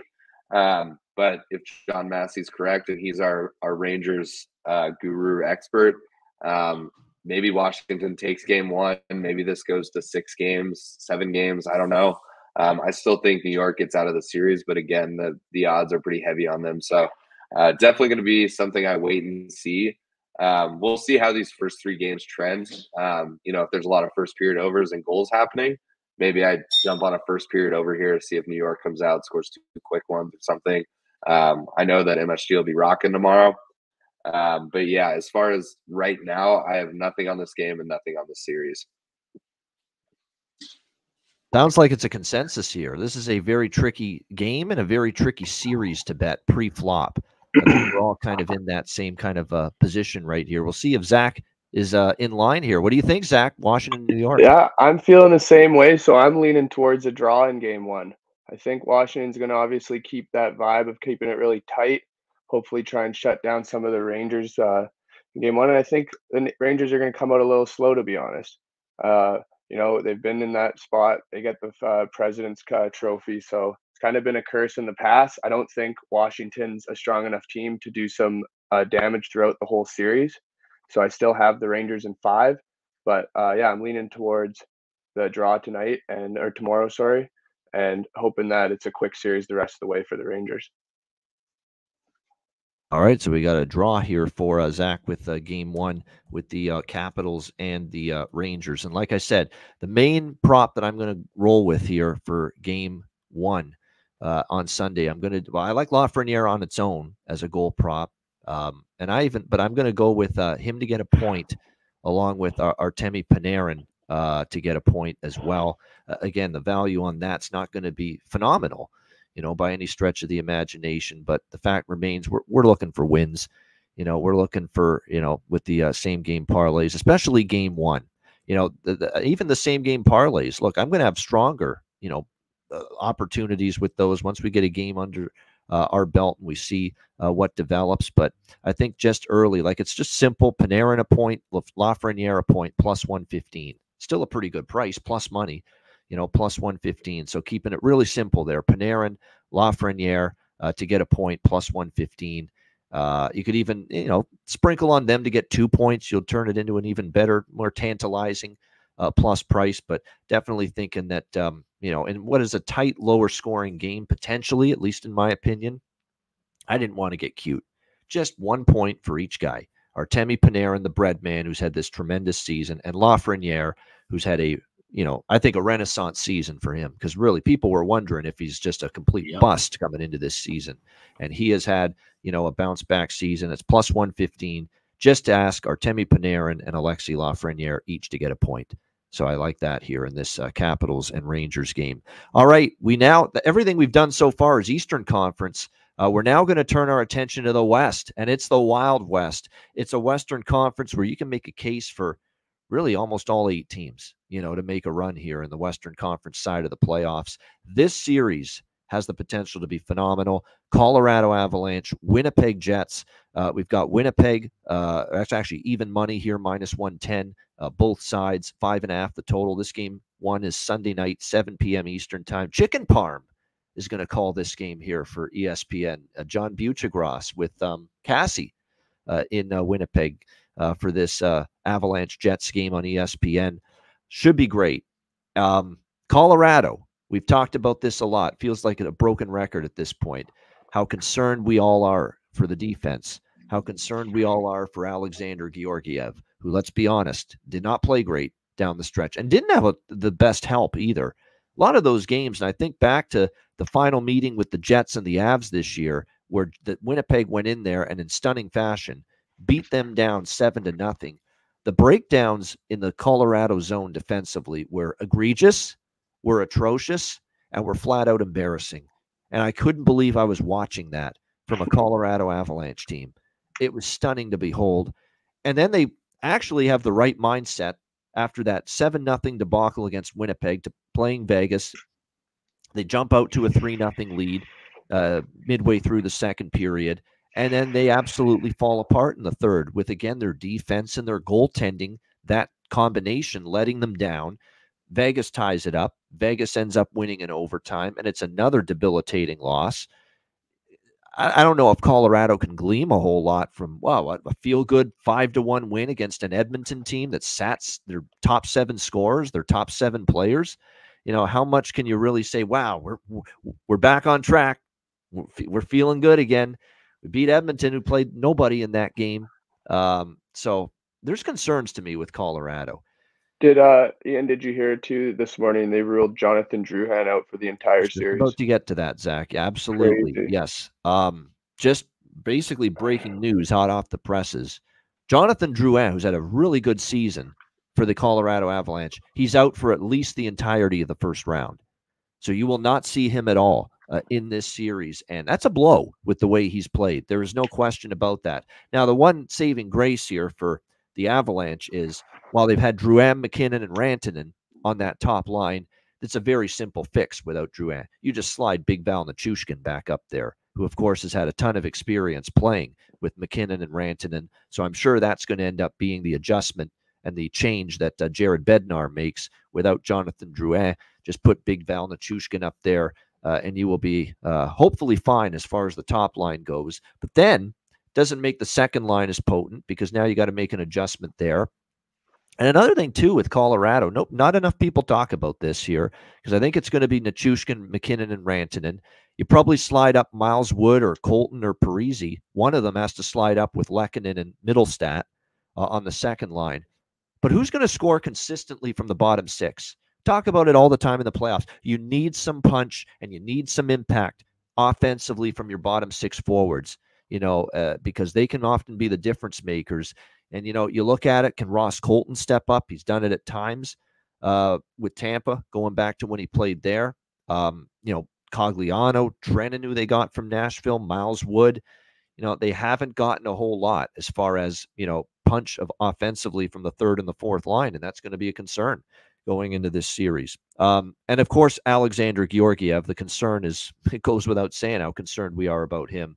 He did not play well down the stretch. His numbers are pedestrian at best. And if he stumbles, and you know, to Alex's point all year about Joe Sakic not addressing goaltending depth, you know, you've got to rely on this young Finnish netminder Justus Annunen, who, to his credit, played better in the in the latter part of the year. He had those rough, t- bad starts, the first few he had, and he did play a lot better. But again, this is the playoffs now. This is a really good hockey team you're playing. You're gonna, and if you play in Winnipeg in particular, it's to be a loud environment. Is are you going to be able to hold up to that if you're Justus Annunen? You know, if you end up uh, getting a net at any point in this series. So Colorado, uh, the scary part for Colorado is you know you still have Nathan MacKinnon who is almost can carry this team on his back to winning this series. That's the one you know Colorado can still win this series if MacKinnon's all world, which he can be. Rantanen's phenomenal. Big Val shows he's back to the form we saw earlier in the regular season and last year and even two years ago and he showed it against well again against edmonton with sitting everybody but he's got that capability so that's always the scary part uh, about facing colorado but i think we need to touch on winnipeg's offense a little bit which early in the season we were worried right? Uh oh they're not scoring goals right now the winnipeg jets. What's going on right now? And then suddenly they add monahan. They add eh, they add monahan at the deadline. They get gabe vilardi back from injury in the second half of the season. And you correlate the improvement in Winnipeg's offensive numbers since they got Vilardi back from injury, and it is really, really uncanny uh, as far as how much better they've been uh, in terms of putting the puck in the net as a team. In fact, I'm going to go bring this uh, stat up because I know I've mentioned it already. I think I might have mentioned this yesterday uh, on the show, but it, it's such a good stat to to bring up that it's worth mentioning here once again. Uh, I'll just uh, get Gabe Vilardi here in front of my screen and mention this. So I've got the Gabe Vilardi game log basically in front of me here, uh, in front of, in, as far as his game by game statistics. With Gabe Vilardi on the ice and in the lineup for the Winnipeg Jets since February the 17th. All right. These are games that he's suited up and he's been on the ice, excluding all the games he missed due to injury. Gabe Vilardi since February 17th with Vilardi in the lineup. This Winnipeg Jets team uh, ended the season uh, on a uh, let me just count it up here 13 and 3 in 16 games with Gabe Vilardi in the lineup. Since February 17th, with Vilardi on the ice, they were 13 and 3, the Winnipeg Jets. uh, in those 16 games that he suited up. From a totals perspective, let's also talk about that. With Gabe Vilardi in the lineup, excluding pushes, the Winnipeg Jets with Gabe Vilardi in their lineup, um, 11, 12 and 4 to the over in those 16 games. So 13 and 3 uh, straight up record in 16 games with Gabe Vilardi. And um, excluding the pushes, uh, it was actually, no, it was 10 4 and 2 to the over in those 16 games 10 4 and 2, 10 overs, four unders, two pushes. So with Vilardi back, the offense was humming. They were suddenly scoring goals. Look what it's done for Kyle Connor, who was very good down the stretch. Uh, and all of a sudden, you know, uh, Scheifele as well. Uh, it just made this lineup better, deeper. And all of a sudden, this is a Winnipeg offense that uh, are they at the top of the league offensively? No, but they're certainly a lot better than the they, they're given credit for. And I think that is something that stands out to me going into this series, which is why here, as far as this series goes, I do like the Jets in the series. I did take Winnipeg in the series here uh, in the minus 110, minus 115 range. And yes, Nick, don't look now. Cole Perfetti's heating up. And this is a guy that went through a big time slump, okay, mid middle part of the year. And now all of a sudden he's heating up now for the uh, Winnipeg Jets, which uh, is good news for them going into this series against a possibly vulnerable defensive team, uh, struggling the way they did down the stretch like Colorado. So I like Winnipeg in the series. I am actually te- I'm probably going to lay off Winnipeg in game one. And there's only one reason for that, and just take them to win the series. I don't love the idea of taking Winnipeg in game one when the last time these teams met, Winnipeg totally embarrassed Colorado. That that's a little unsettling to me to take Winnipeg in game one with Colorado with that painful memory fresh in their mind that they got totally and utterly uh, annihilated and, and just totally embarrassed on their home ice. So, because I, I, do expect Colorado to have a strong effort here in this game one, knowing that. But will it be enough is the question with those defensive and goaltending uh, worries, you know, that we all have. So I like Winnipeg in the series. I am not on Winnipeg in game one. What I am on, though, in game one is um, over bifecta. And I really like this. Uh, over one and a half first period, over five and a half full game. You look at the head to head meetings with Colorado and Winnipeg this year. Uh, we had three head to head meetings December 7th, December 16th, April 13th. First meeting in Colorado, 4 2 Jets. In Winnipeg, December 16, 6 2 Jets. And then, of course, the 7 0 shellacking for Winnipeg and Colorado just a week ago. All three games, minimum six goals. Minimum six goals in all three head to head meetings with the Avs and Jets. So to me, to see this total at five and a half, I'm more than a little bit stunned more than a little bit stunned because we know Colorado's got issues keeping the puck out of their own net, but we know they're still very lethal and potent offensively. Combined with the fact that the Jets, I don't think, are given enough credit for the way they have played offensively as a team down the stretch since getting Gabe Vilardi back. Put it all together, and I think this total is just, it's at the very least, it's a half goal too low. Six minimum should be the total in this game. Minimum. You could even make a case with series history and Winnipeg's improved offensive play, them trending over, Colorado trending over, struggling to keep the puck out. Could even make a case it could be six and a half here in this first game. But at the very least, it should be six, this full game total, in my opinion. It isn't. It's five and a half across the board, and I'm happy to take advantage. Over bifecta for me here. Colorado, Winnipeg. Alex, what do you think here? Avs, Jets. Yeah, now as far as series goes, I like Winnipeg in the spot. It's the first thing that I bet. Uh, I got plus 115. So the pluses are all gone, especially now with that Drew Drouin news as well. That's big for Colorado, which, like I said, we worry about the defense, worry about the goaltending. But now, if this team becomes a, a, a top heavy offensive unit, and, and those guys like uh, you know Big Val don't get it rolling. If MacKinnon somehow goes cold, which he hasn't all year, but if those if that's to happen, this is the Colorado team's in a world of trouble. But I, I, do expect goals here in this first game. I don't like Winnipeg as a side in game one necessarily, except because of, of the you know what happened with the last meeting in the regular season. This could be a back and forth battle. So I like the over trifecta here. Uh, I got first period over one and a half minus one fifteen. I got over five and a half minus one twenty, but I got both teams to score in the first at plus 182 at FanDuel as well. I think we definitely see goals both ways. This will be a little bit of a chippy kind of a game too. I think we see Winnipeg's known more for their physicality in you know previous years. You know, usually being one of the bigger teams in the league. I think they kind of maybe revert back to that play a little bit early just to kind of establish some dominance. Colorado can definitely match in that physicality route, but of course we know the offensive talent they have as well. So should definitely be a good game and a good series.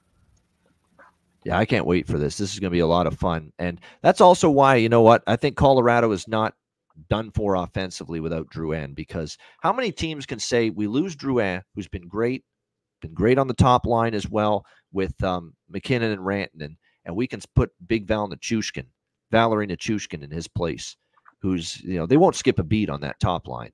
Uh, and in fact, you know, Nichushkin, we've seen him dominate you know, in the regular season and in the playoffs in the past. So, no, I'm not worried about their offense. I'm worried about their defense, and I'm worried about Georgiev. And I think we all are.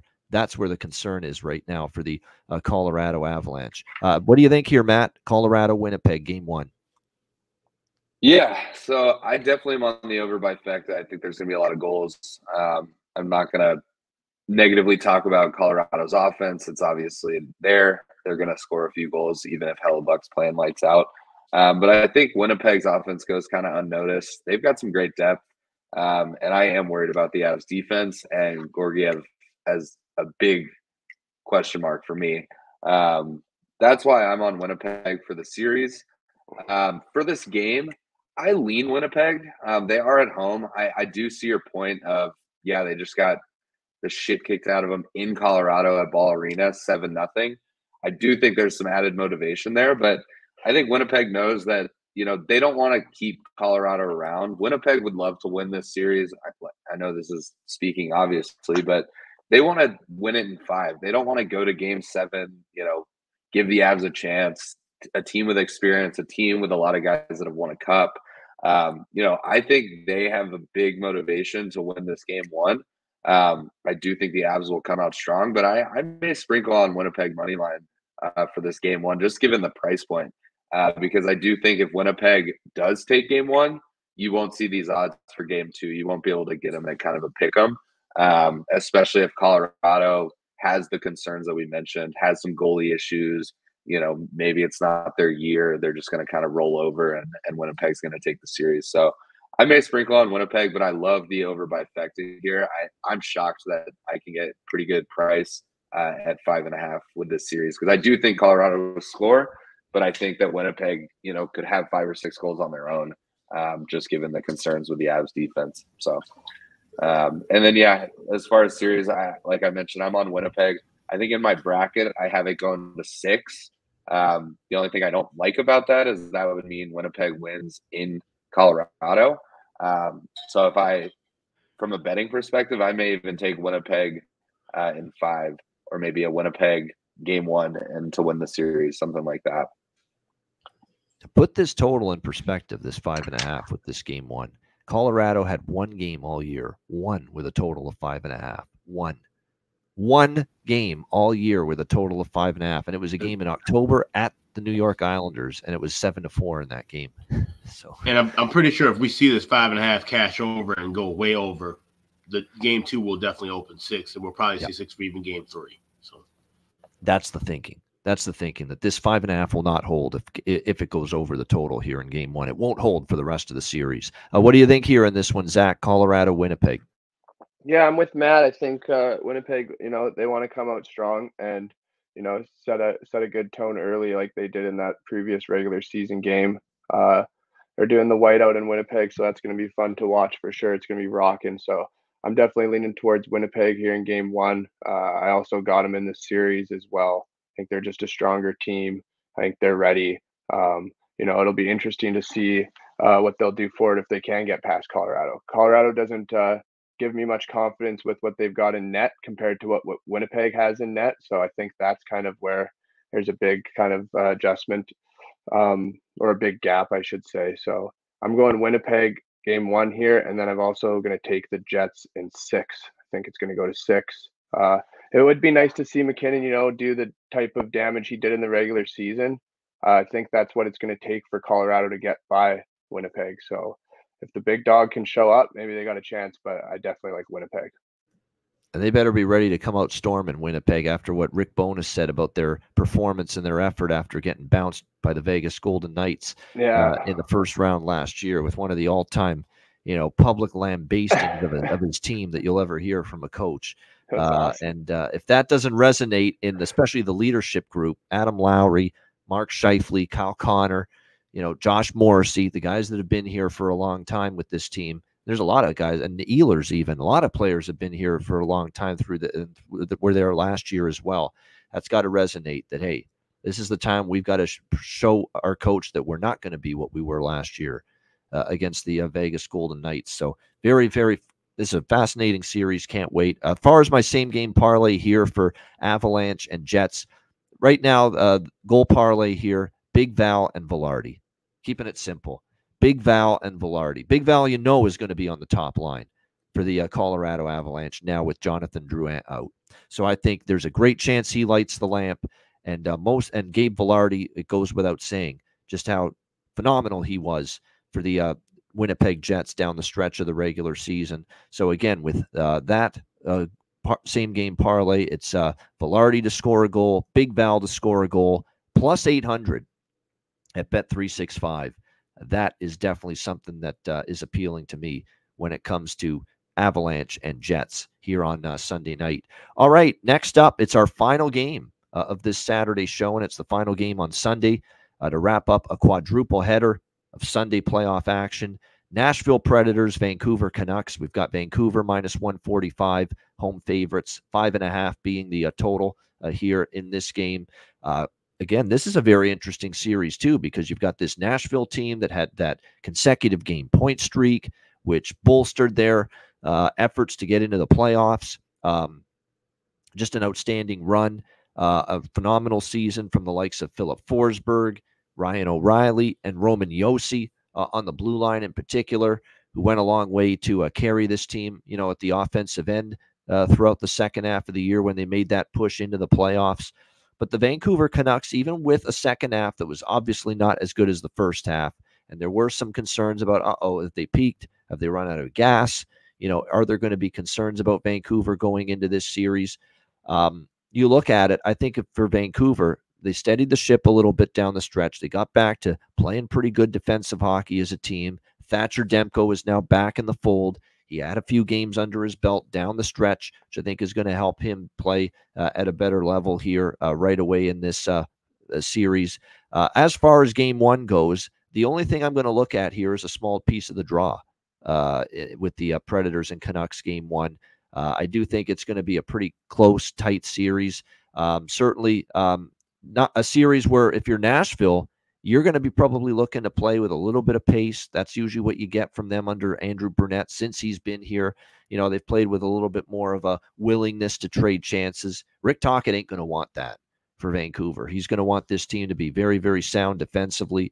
Uh, the one thing too that I noticed too, and uh, I know it's been mentioned a few times, um, that Nashville, they really do generate a lot of their chances. You know, an odd man rushes, rush chances, and Vancouver has not given up you know, a ton in that regard. So, you know, the question is going to be can uh, Nashville get their offense rolling when, you know, they have to cycle the puck, play more of a, you know, puck possession game in the offensive zone, you know, and that's why if you're Vancouver and Tocchet knows this, don't turn the puck over to put yourself in a position where you're giving up rush chances to a very dynamite Nashville team that can make you pay, you know, off the rush. And uh, if they negate those, you know they're going to put themselves uh, in a pretty good position here uh, in this series. So this is a very good, definitely a chess match type of series is what this one sets up to be. Looking forward to it.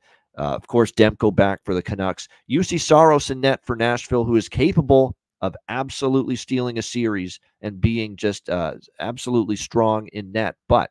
He did, had kind of had an up and down year, especially down the stretch. He had some games where he got lit up.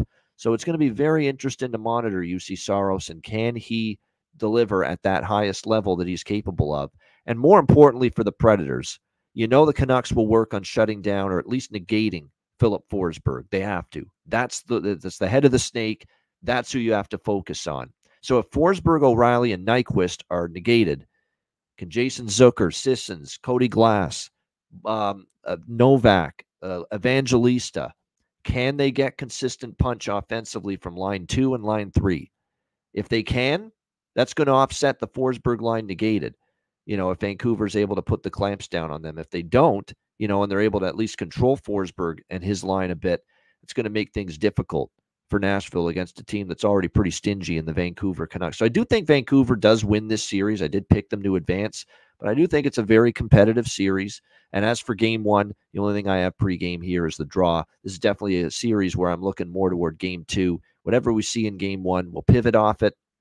And we'll definitely be involved more from a pregame perspective, betting wise, in game two uh, of this series. Uh, Alex, what do you think here, Nashville, Vancouver? Yeah, I'm, I'm right there with you as far as game one. Only liking the draw. I'm not probably not playing anything series wise. I have uh, a huge future with Vancouver to win the West, Vancouver to win the Cup. So I'm just kind of riding with those right now. I also have Vancouver to win the first two rounds as well. So that's the way that I've played the series, uh, you know, de facto. But as far as game, looking at the draw, we'll be looking for something in game as well. This will probably be more. This is kind of like my Western version of Washington and New York Rangers where I'm going to be looking more for in-game looks throughout the series. But I do like the draw, and there's something interesting that I noticed. I don't have a play for it in this series, but I'll talk about it on Monday. There's an option at FanDuel where you can bet the game to reach the overtime and also who scores the winning goal in overtime. I will definitely be looking at that for some of these draw plays. But uh, there's one in particular I'll be looking at, and I'll talk about that on Monday. No doubt. And by the way, we forgot to mention it with Colorado Winnipeg. Alex and I are both on. Someone mentioned it in the chat. We're both on Gabe Vilardi to lead the series in goals. We both took a shot with that yep. uh, in that Avs Jets series. In this series, I mentioned it yesterday. I like Conor Garland to lead the series in goals, and he's definitely the one from a prop standpoint I like for Vancouver in this game. I will be on Conor Garland score a goal to get a point. Uh, definitely in that regard, Conor Garland will probably point at the very least. Conor Garland to get a point will be in my uh, same game parlay for this game uh, between the uh, Predators uh, and the uh, Canucks. No question about it. Matt, what do you think here? Nashville, Vancouver. Yeah, this is a tough one for me because I mean, again, if you had asked me a month and a month and a half ago, I would say Vancouver sweeps this series. But you know, Nashville really played well down the stretch, and Vancouver struggled, um, and a lot of that can be um, attributed to Demko being out. You know, he's a big piece for them uh, in their success. So I I go back and forth. I I've switched my bracket four times. I I have it set to game seven, and I've gone Nashville, and then I'm like, ah, no, maybe Vancouver wins it. So I lean Vancouver slightly just because I think they are the better team. Um, you know, throughout the whole season. Um, but it's tough to bet against Nashville just given the run they went on towards the end of the year. So um, this will probably be same boat for me. I don't think I'll have anything pregame. Um, we'll see how the games are going. Maybe I throw a first period over there, just you know, hoping for some action. Um, but you know, I could see both teams coming out trying to kind of feel each other out. It could be a slow first period, so I may even just stay off that. I I might. I think you guys talked me into the draw though, um, because I think it's going to be such a consistent series. Um, I could see a few of these games going to overtime, so I might try uh, and sprinkle on the draw there. But uh, but yeah, I mean, I again, I lean Vancouver, but it's very, very slight, and I think Nashville could totally take this series, and I wouldn't be shocked at all. So um, it's going to be a good one, but uh, but yeah, don't don't have a lot of good feel for it. Um, that's for sure. Yeah, this one for me, I, am gonna have a good feel for probably game two and beyond. But this series is another one of those where in game one, you know, especially with the lay, this has been a long layoff for Nashville uh, in particular, uh, by the way, for prior to game one. So that's why this one does look a little bit, you know, more of a let's see how Nashville comes out in particular.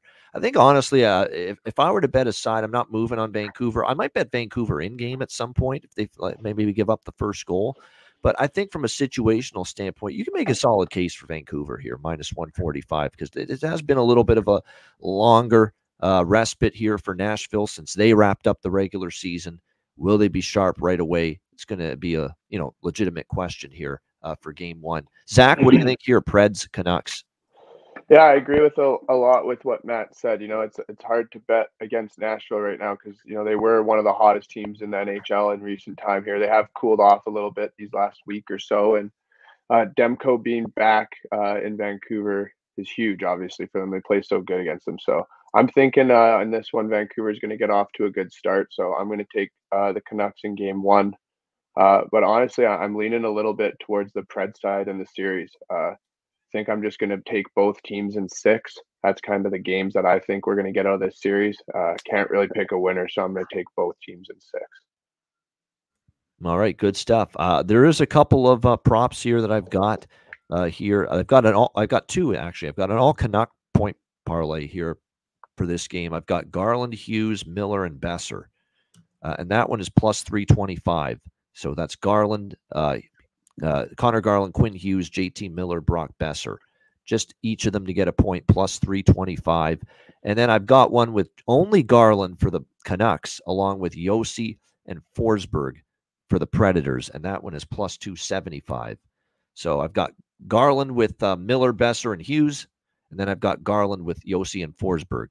Uh, the Josi with Forsberg and uh, Garland one is plus 275. Uh, and the other one with the uh, four Canucks, Garland, Hughes, Miller, and Boeser, uh, is plus 325. I'm scared to death right now of props with Pettersson because he didn't have a great finish to the season. I got to see him up the ante a little bit yeah.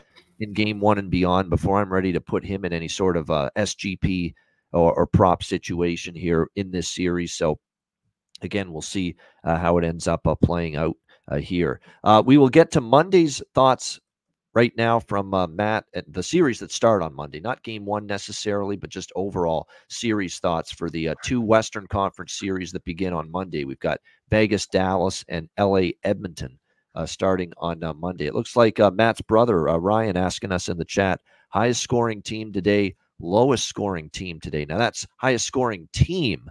Today's tough, I got to admit. Um, I'll throw a curveball at you. Toronto Maple Leafs, highest scoring team today. That's uh, what I'll I throw, said.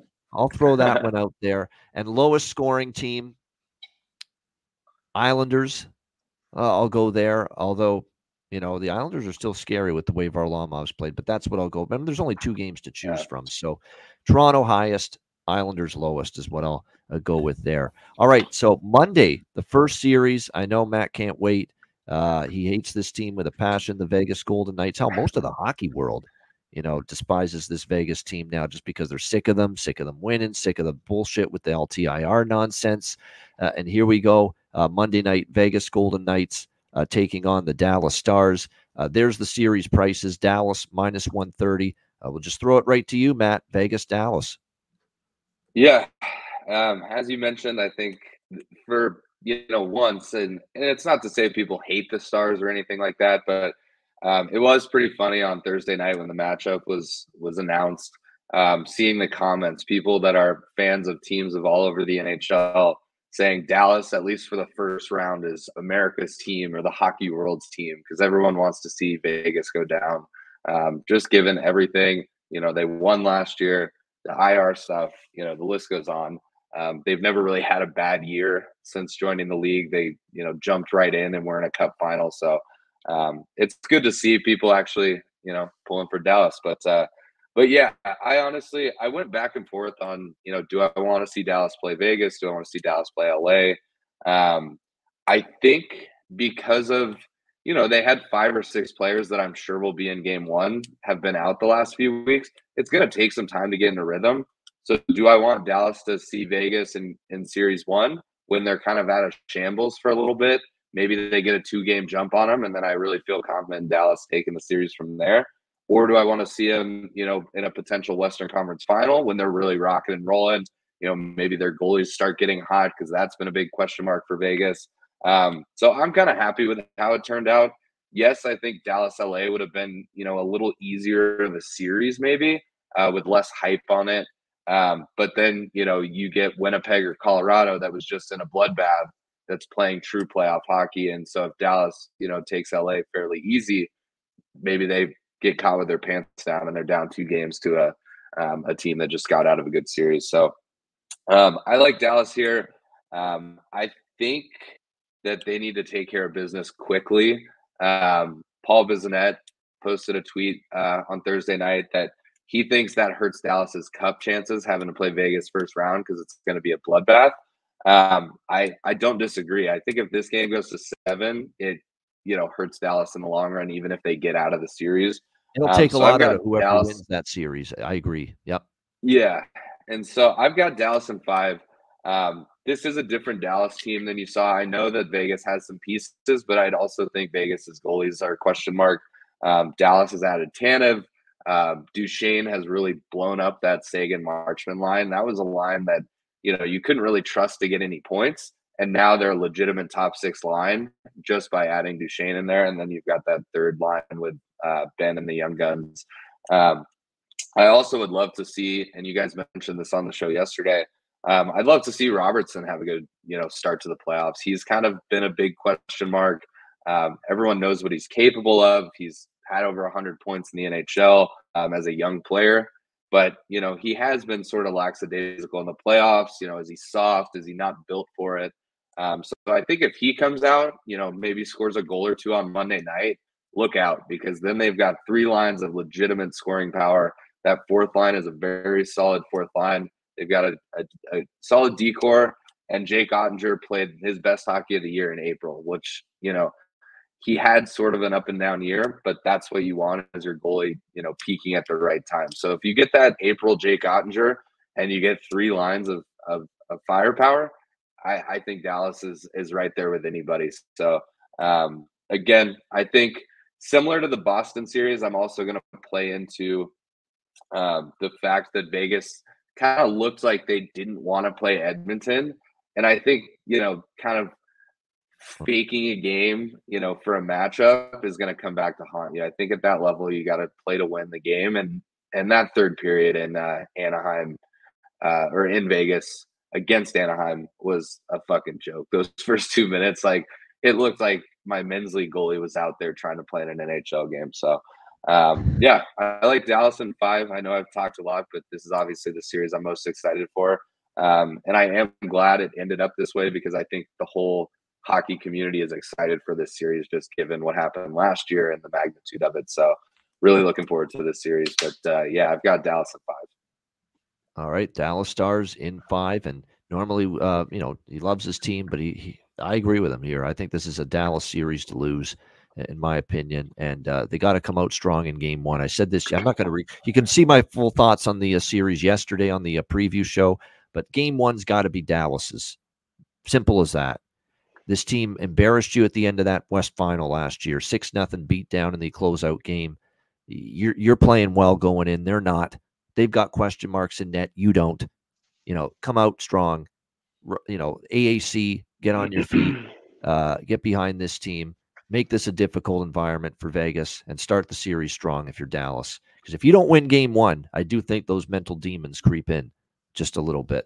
Uh, what do you think here, Zach? Vegas, Dallas.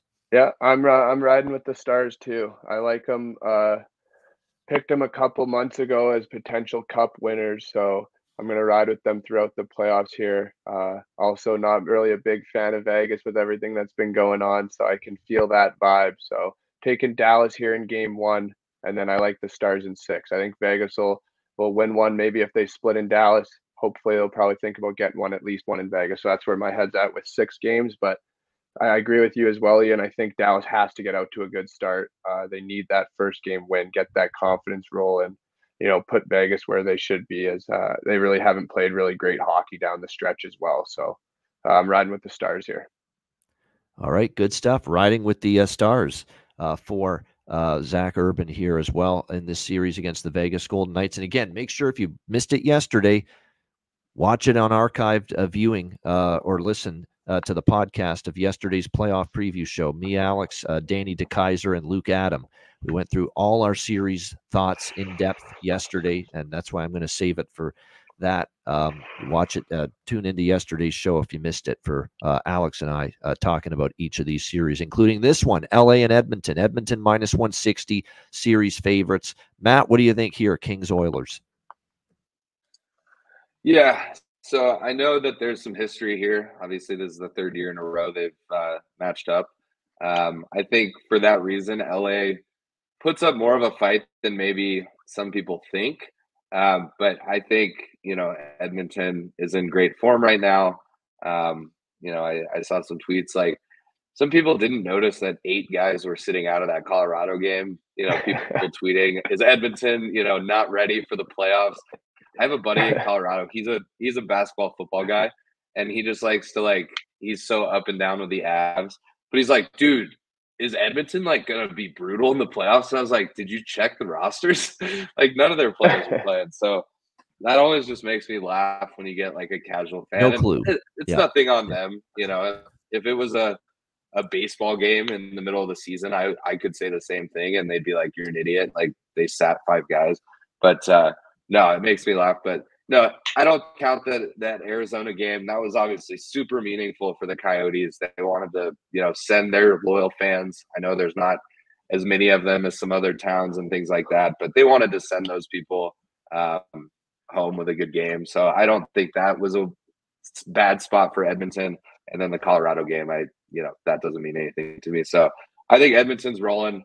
Um, I think they've McDavid, you know, he's always been sort of like they get to the second round. Like I think he really wants to make a run. I mean, uh, I know I'm speaking obvious facts, but I think this is the year that they legit can. I think they've boosted up their defense a little bit. The goaltending is still sometimes a question mark for me, um, but I think Edmonton rolls LA. I think this is you know maybe a five game series, um, but if this is a sweep, I would not be shocked either. Wow. Um, I definitely think Edmonton takes game one and two.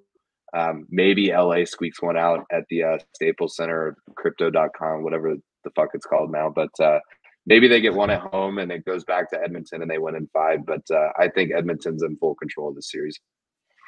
Wow, how about that? Edmonton to win, but win handily uh, here against the uh, uh, Edmonton uh, or for the, against the LA Kings. I actually think LA is going to give them some trouble in Game One. After that, though, um, I'd be a little bit leery. I think Edmonton will get better and stronger as the series goes on. But I think there's something to that, and we'll talk about this more on Monday's show when we talk the individual Game One. But just the idea of that Edmonton's had their way with this LA team two years in a row in the playoffs. And LA's coming into game one thinking, you know, enough is enough. We got to start strong here and, and, flip the script a little bit.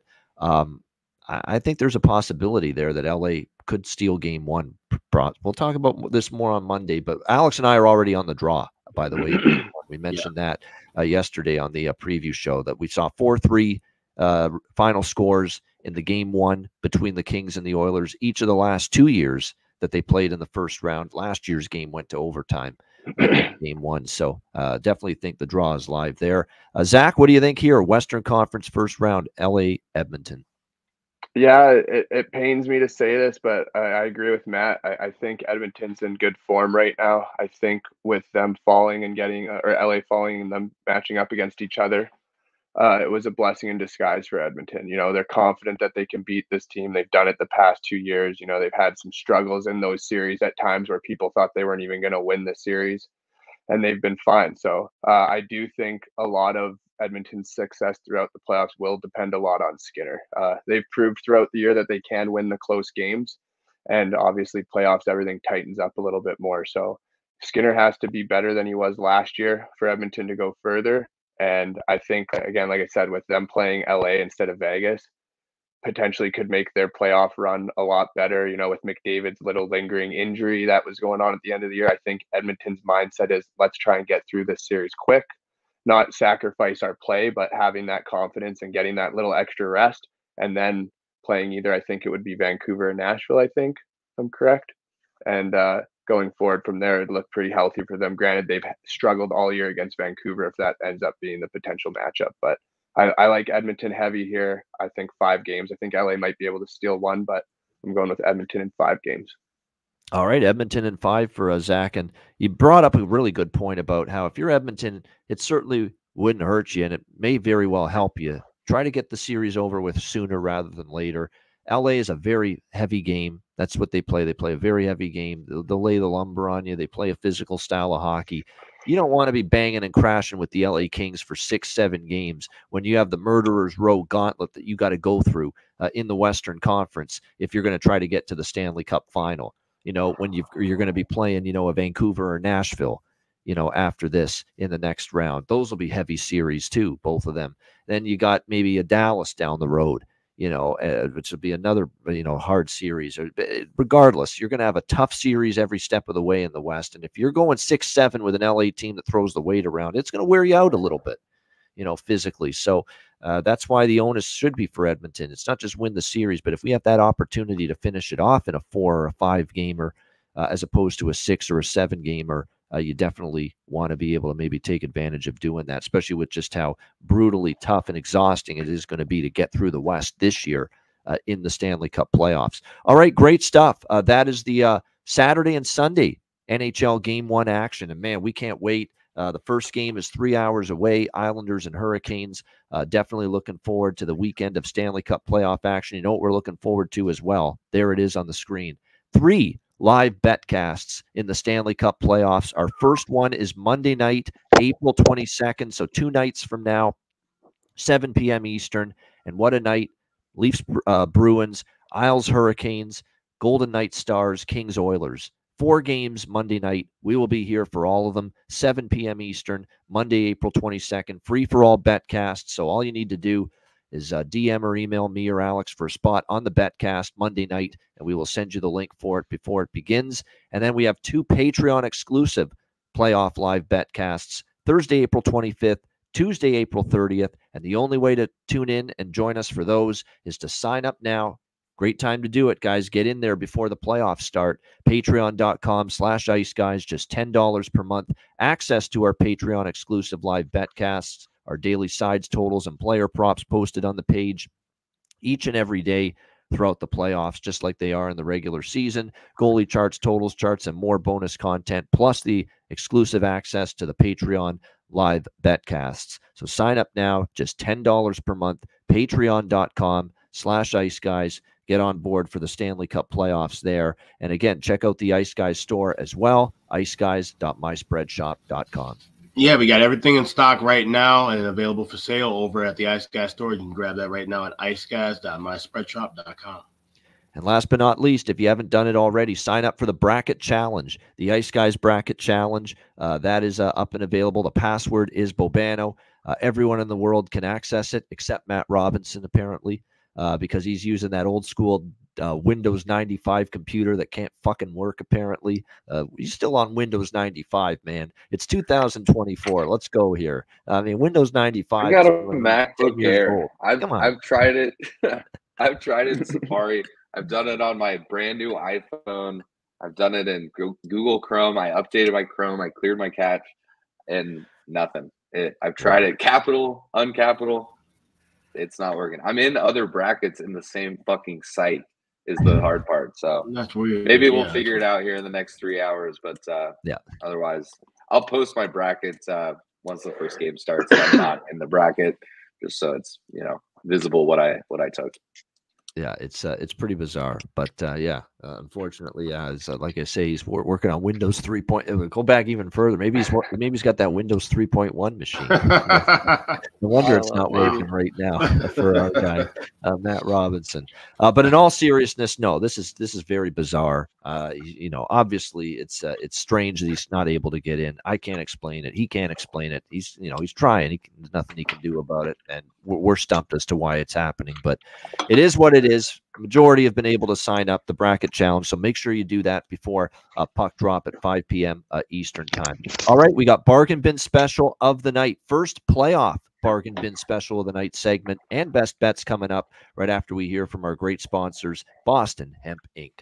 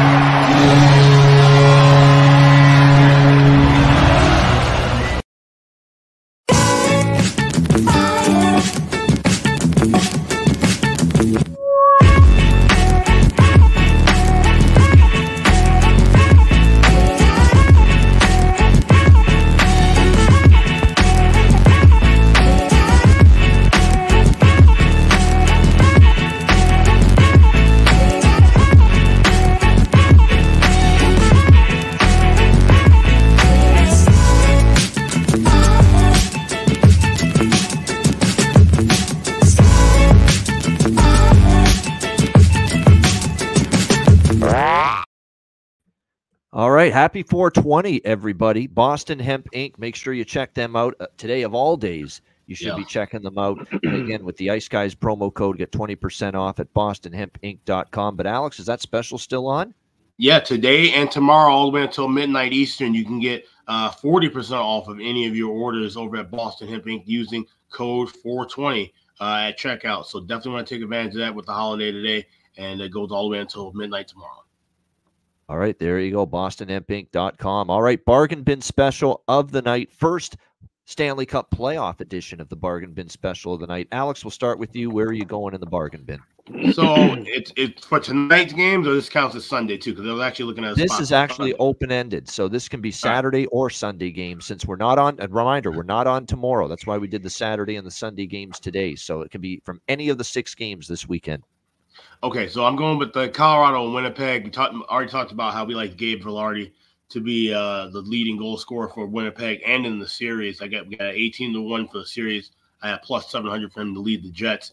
I think he's going to come out in the big way at home. And I think he gets two goals starting off tomorrow in game one. So give me that plus 2,300 at FanDuel. Gabe Vilardi to score twice in game one for the Winnipeg Jets. And I'm not putting it past Alex anymore to cash one of these because his, some of these have just been incredible. How he's hit some of these long, especially the the multiple goals, the first goal, uh, you name it. It's been pretty amazing. Twenty three to one plus twenty three hundred. Gabe Vilardi over one and a half goals for Winnipeg Sunday night game one against Colorado. Bargain bin special of the night for Alex B. Smith. Uh, Matt, what do you got for the bargain bin special? Yeah, so just on that point, I think when it's a bigger bargain bin with Alex, it's more likely to hit. Like his when it's like three plus three fifty, I'm like, ah, I don't love that. When it's plus eight hundred or more, I'm fucking on it because it fucking hits. So That's love clear. The that. bigger the price, the, the better the chance it seems with some of his bargain bins. I agree. It's kind crazy. of work that way. Um, but I'm gonna go with a, a little bigger shot. The odds are definitely not plus 2300 for this one. Um, and I sort of snuck it out early in the show, but I'm gonna go with Auston Matthews to score the first goal of the game tonight for Toronto and Boston. Uh, I think I've seen it like plus 700, plus 720, something in that range. Um, Ian will probably give us where where it's the highest, but um, just how the season ended, I think it's just one of those karma things that the hockey gods will fuck with everybody and he'll score the first goal early in the game tonight. So Auston Matthews, first goal of the Toronto Boston game. Right there you go. Auston Matthews for Toronto, first goal uh, tonight against the uh, Boston Bruins. Uh, again, shop around for that. I know uh, when it comes to uh, FanDuel, uh, it is currently uh, plus 650, but it's in that range. You're right, 650, 700. Make sure you shop around for that. Uh, Auston Matthews, first goal for the Toronto Maple Leafs tonight against the Boston Bruins. For Matt Robinson with his bargain bin special of the night. Zach, what have you got here? Bargain bin special. Yeah, uh, I'm sticking with the same game. This one isn't as tasty as Alex's. It just makes the cut, but I'm going with uh, Tyler Bertuzzi anytime goal uh, for the Leafs today. So it's my bargain special. Been special. I think I saw it at plus 300. Might be able to get a little more value out of it as well. But going with Bertuzzi scoring against the Bees. All right, Tyler Bertuzzi for the uh, Toronto Maple Leafs against the uh, Boston Bruins to find the uh, back of the net. That's actually a good choice, and I've got Bertuzzi at twenty-five to one.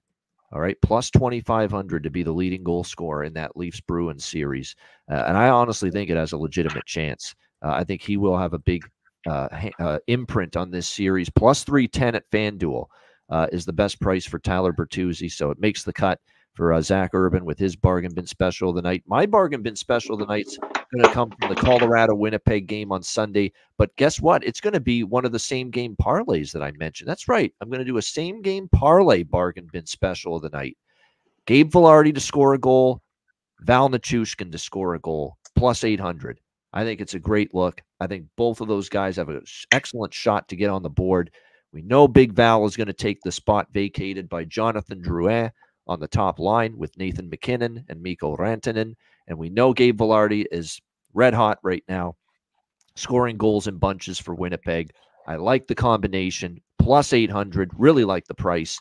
Same game parlay, Avs Jets, Gabe Vilardi goal, Valeri Nichushkin goal, plus 800 for my bargain bin special uh, of the night. All right, best bets. Alex, we'll start with you. What do you like for best bet? Yeah, Sunday morning. This would be a good breakfast in bed. Maybe roll a joint and watch the Battle of Florida in Game One. Tampa Bay uh, taking on the Panthers. Like goals here early. I think this is going to be a chippy battle. Definitely going to see some pace and, and, and some animosity, and that should lead to some early goals. 21 and 6 run in the season with Tampa Bay, the first period over. So let's go Bolts and Cats. First period over one and a half. You get as low as minus a dollar fifteen. That's the best bet for Sunday. All right, there we go. That is a Battle of Florida, Tampa Bay, Florida, over one and a half first period. Uh, best bet for uh, Alex B. Smith. Uh, Matt, what do you like best bet? Yeah, so I had two written down on the off chance Alex took one of them and he he ended up doing it, but it's okay because I love this bet as well. It's the exact same game and it's the game over at five and a half. Um, I think you're going to see some goals in the first period. I think it might slow down a little bit, uh, but this game's got to get to six. There's going to be power plays. Tampa's power plays lethal. Uh, Florida's definitely not shy on scoring goals as well. So uh, Tampa, Florida, full game over five and a half. That's my best bet of the weekend. All right, Tampa Bay, Florida, full game over for Matt Robinson, over five and a half, minus 120 with his uh, best bet. Uh, Zach, what do you like for best bet? Any game this weekend? Yeah, I'm going over to the Colorado and Winnipeg game and hitting the over there in the full game at 5.5. I think, uh, like you mentioned in the show, Ian, uh, a lot of goals against these two teams for when they match up. So going with the over in that game.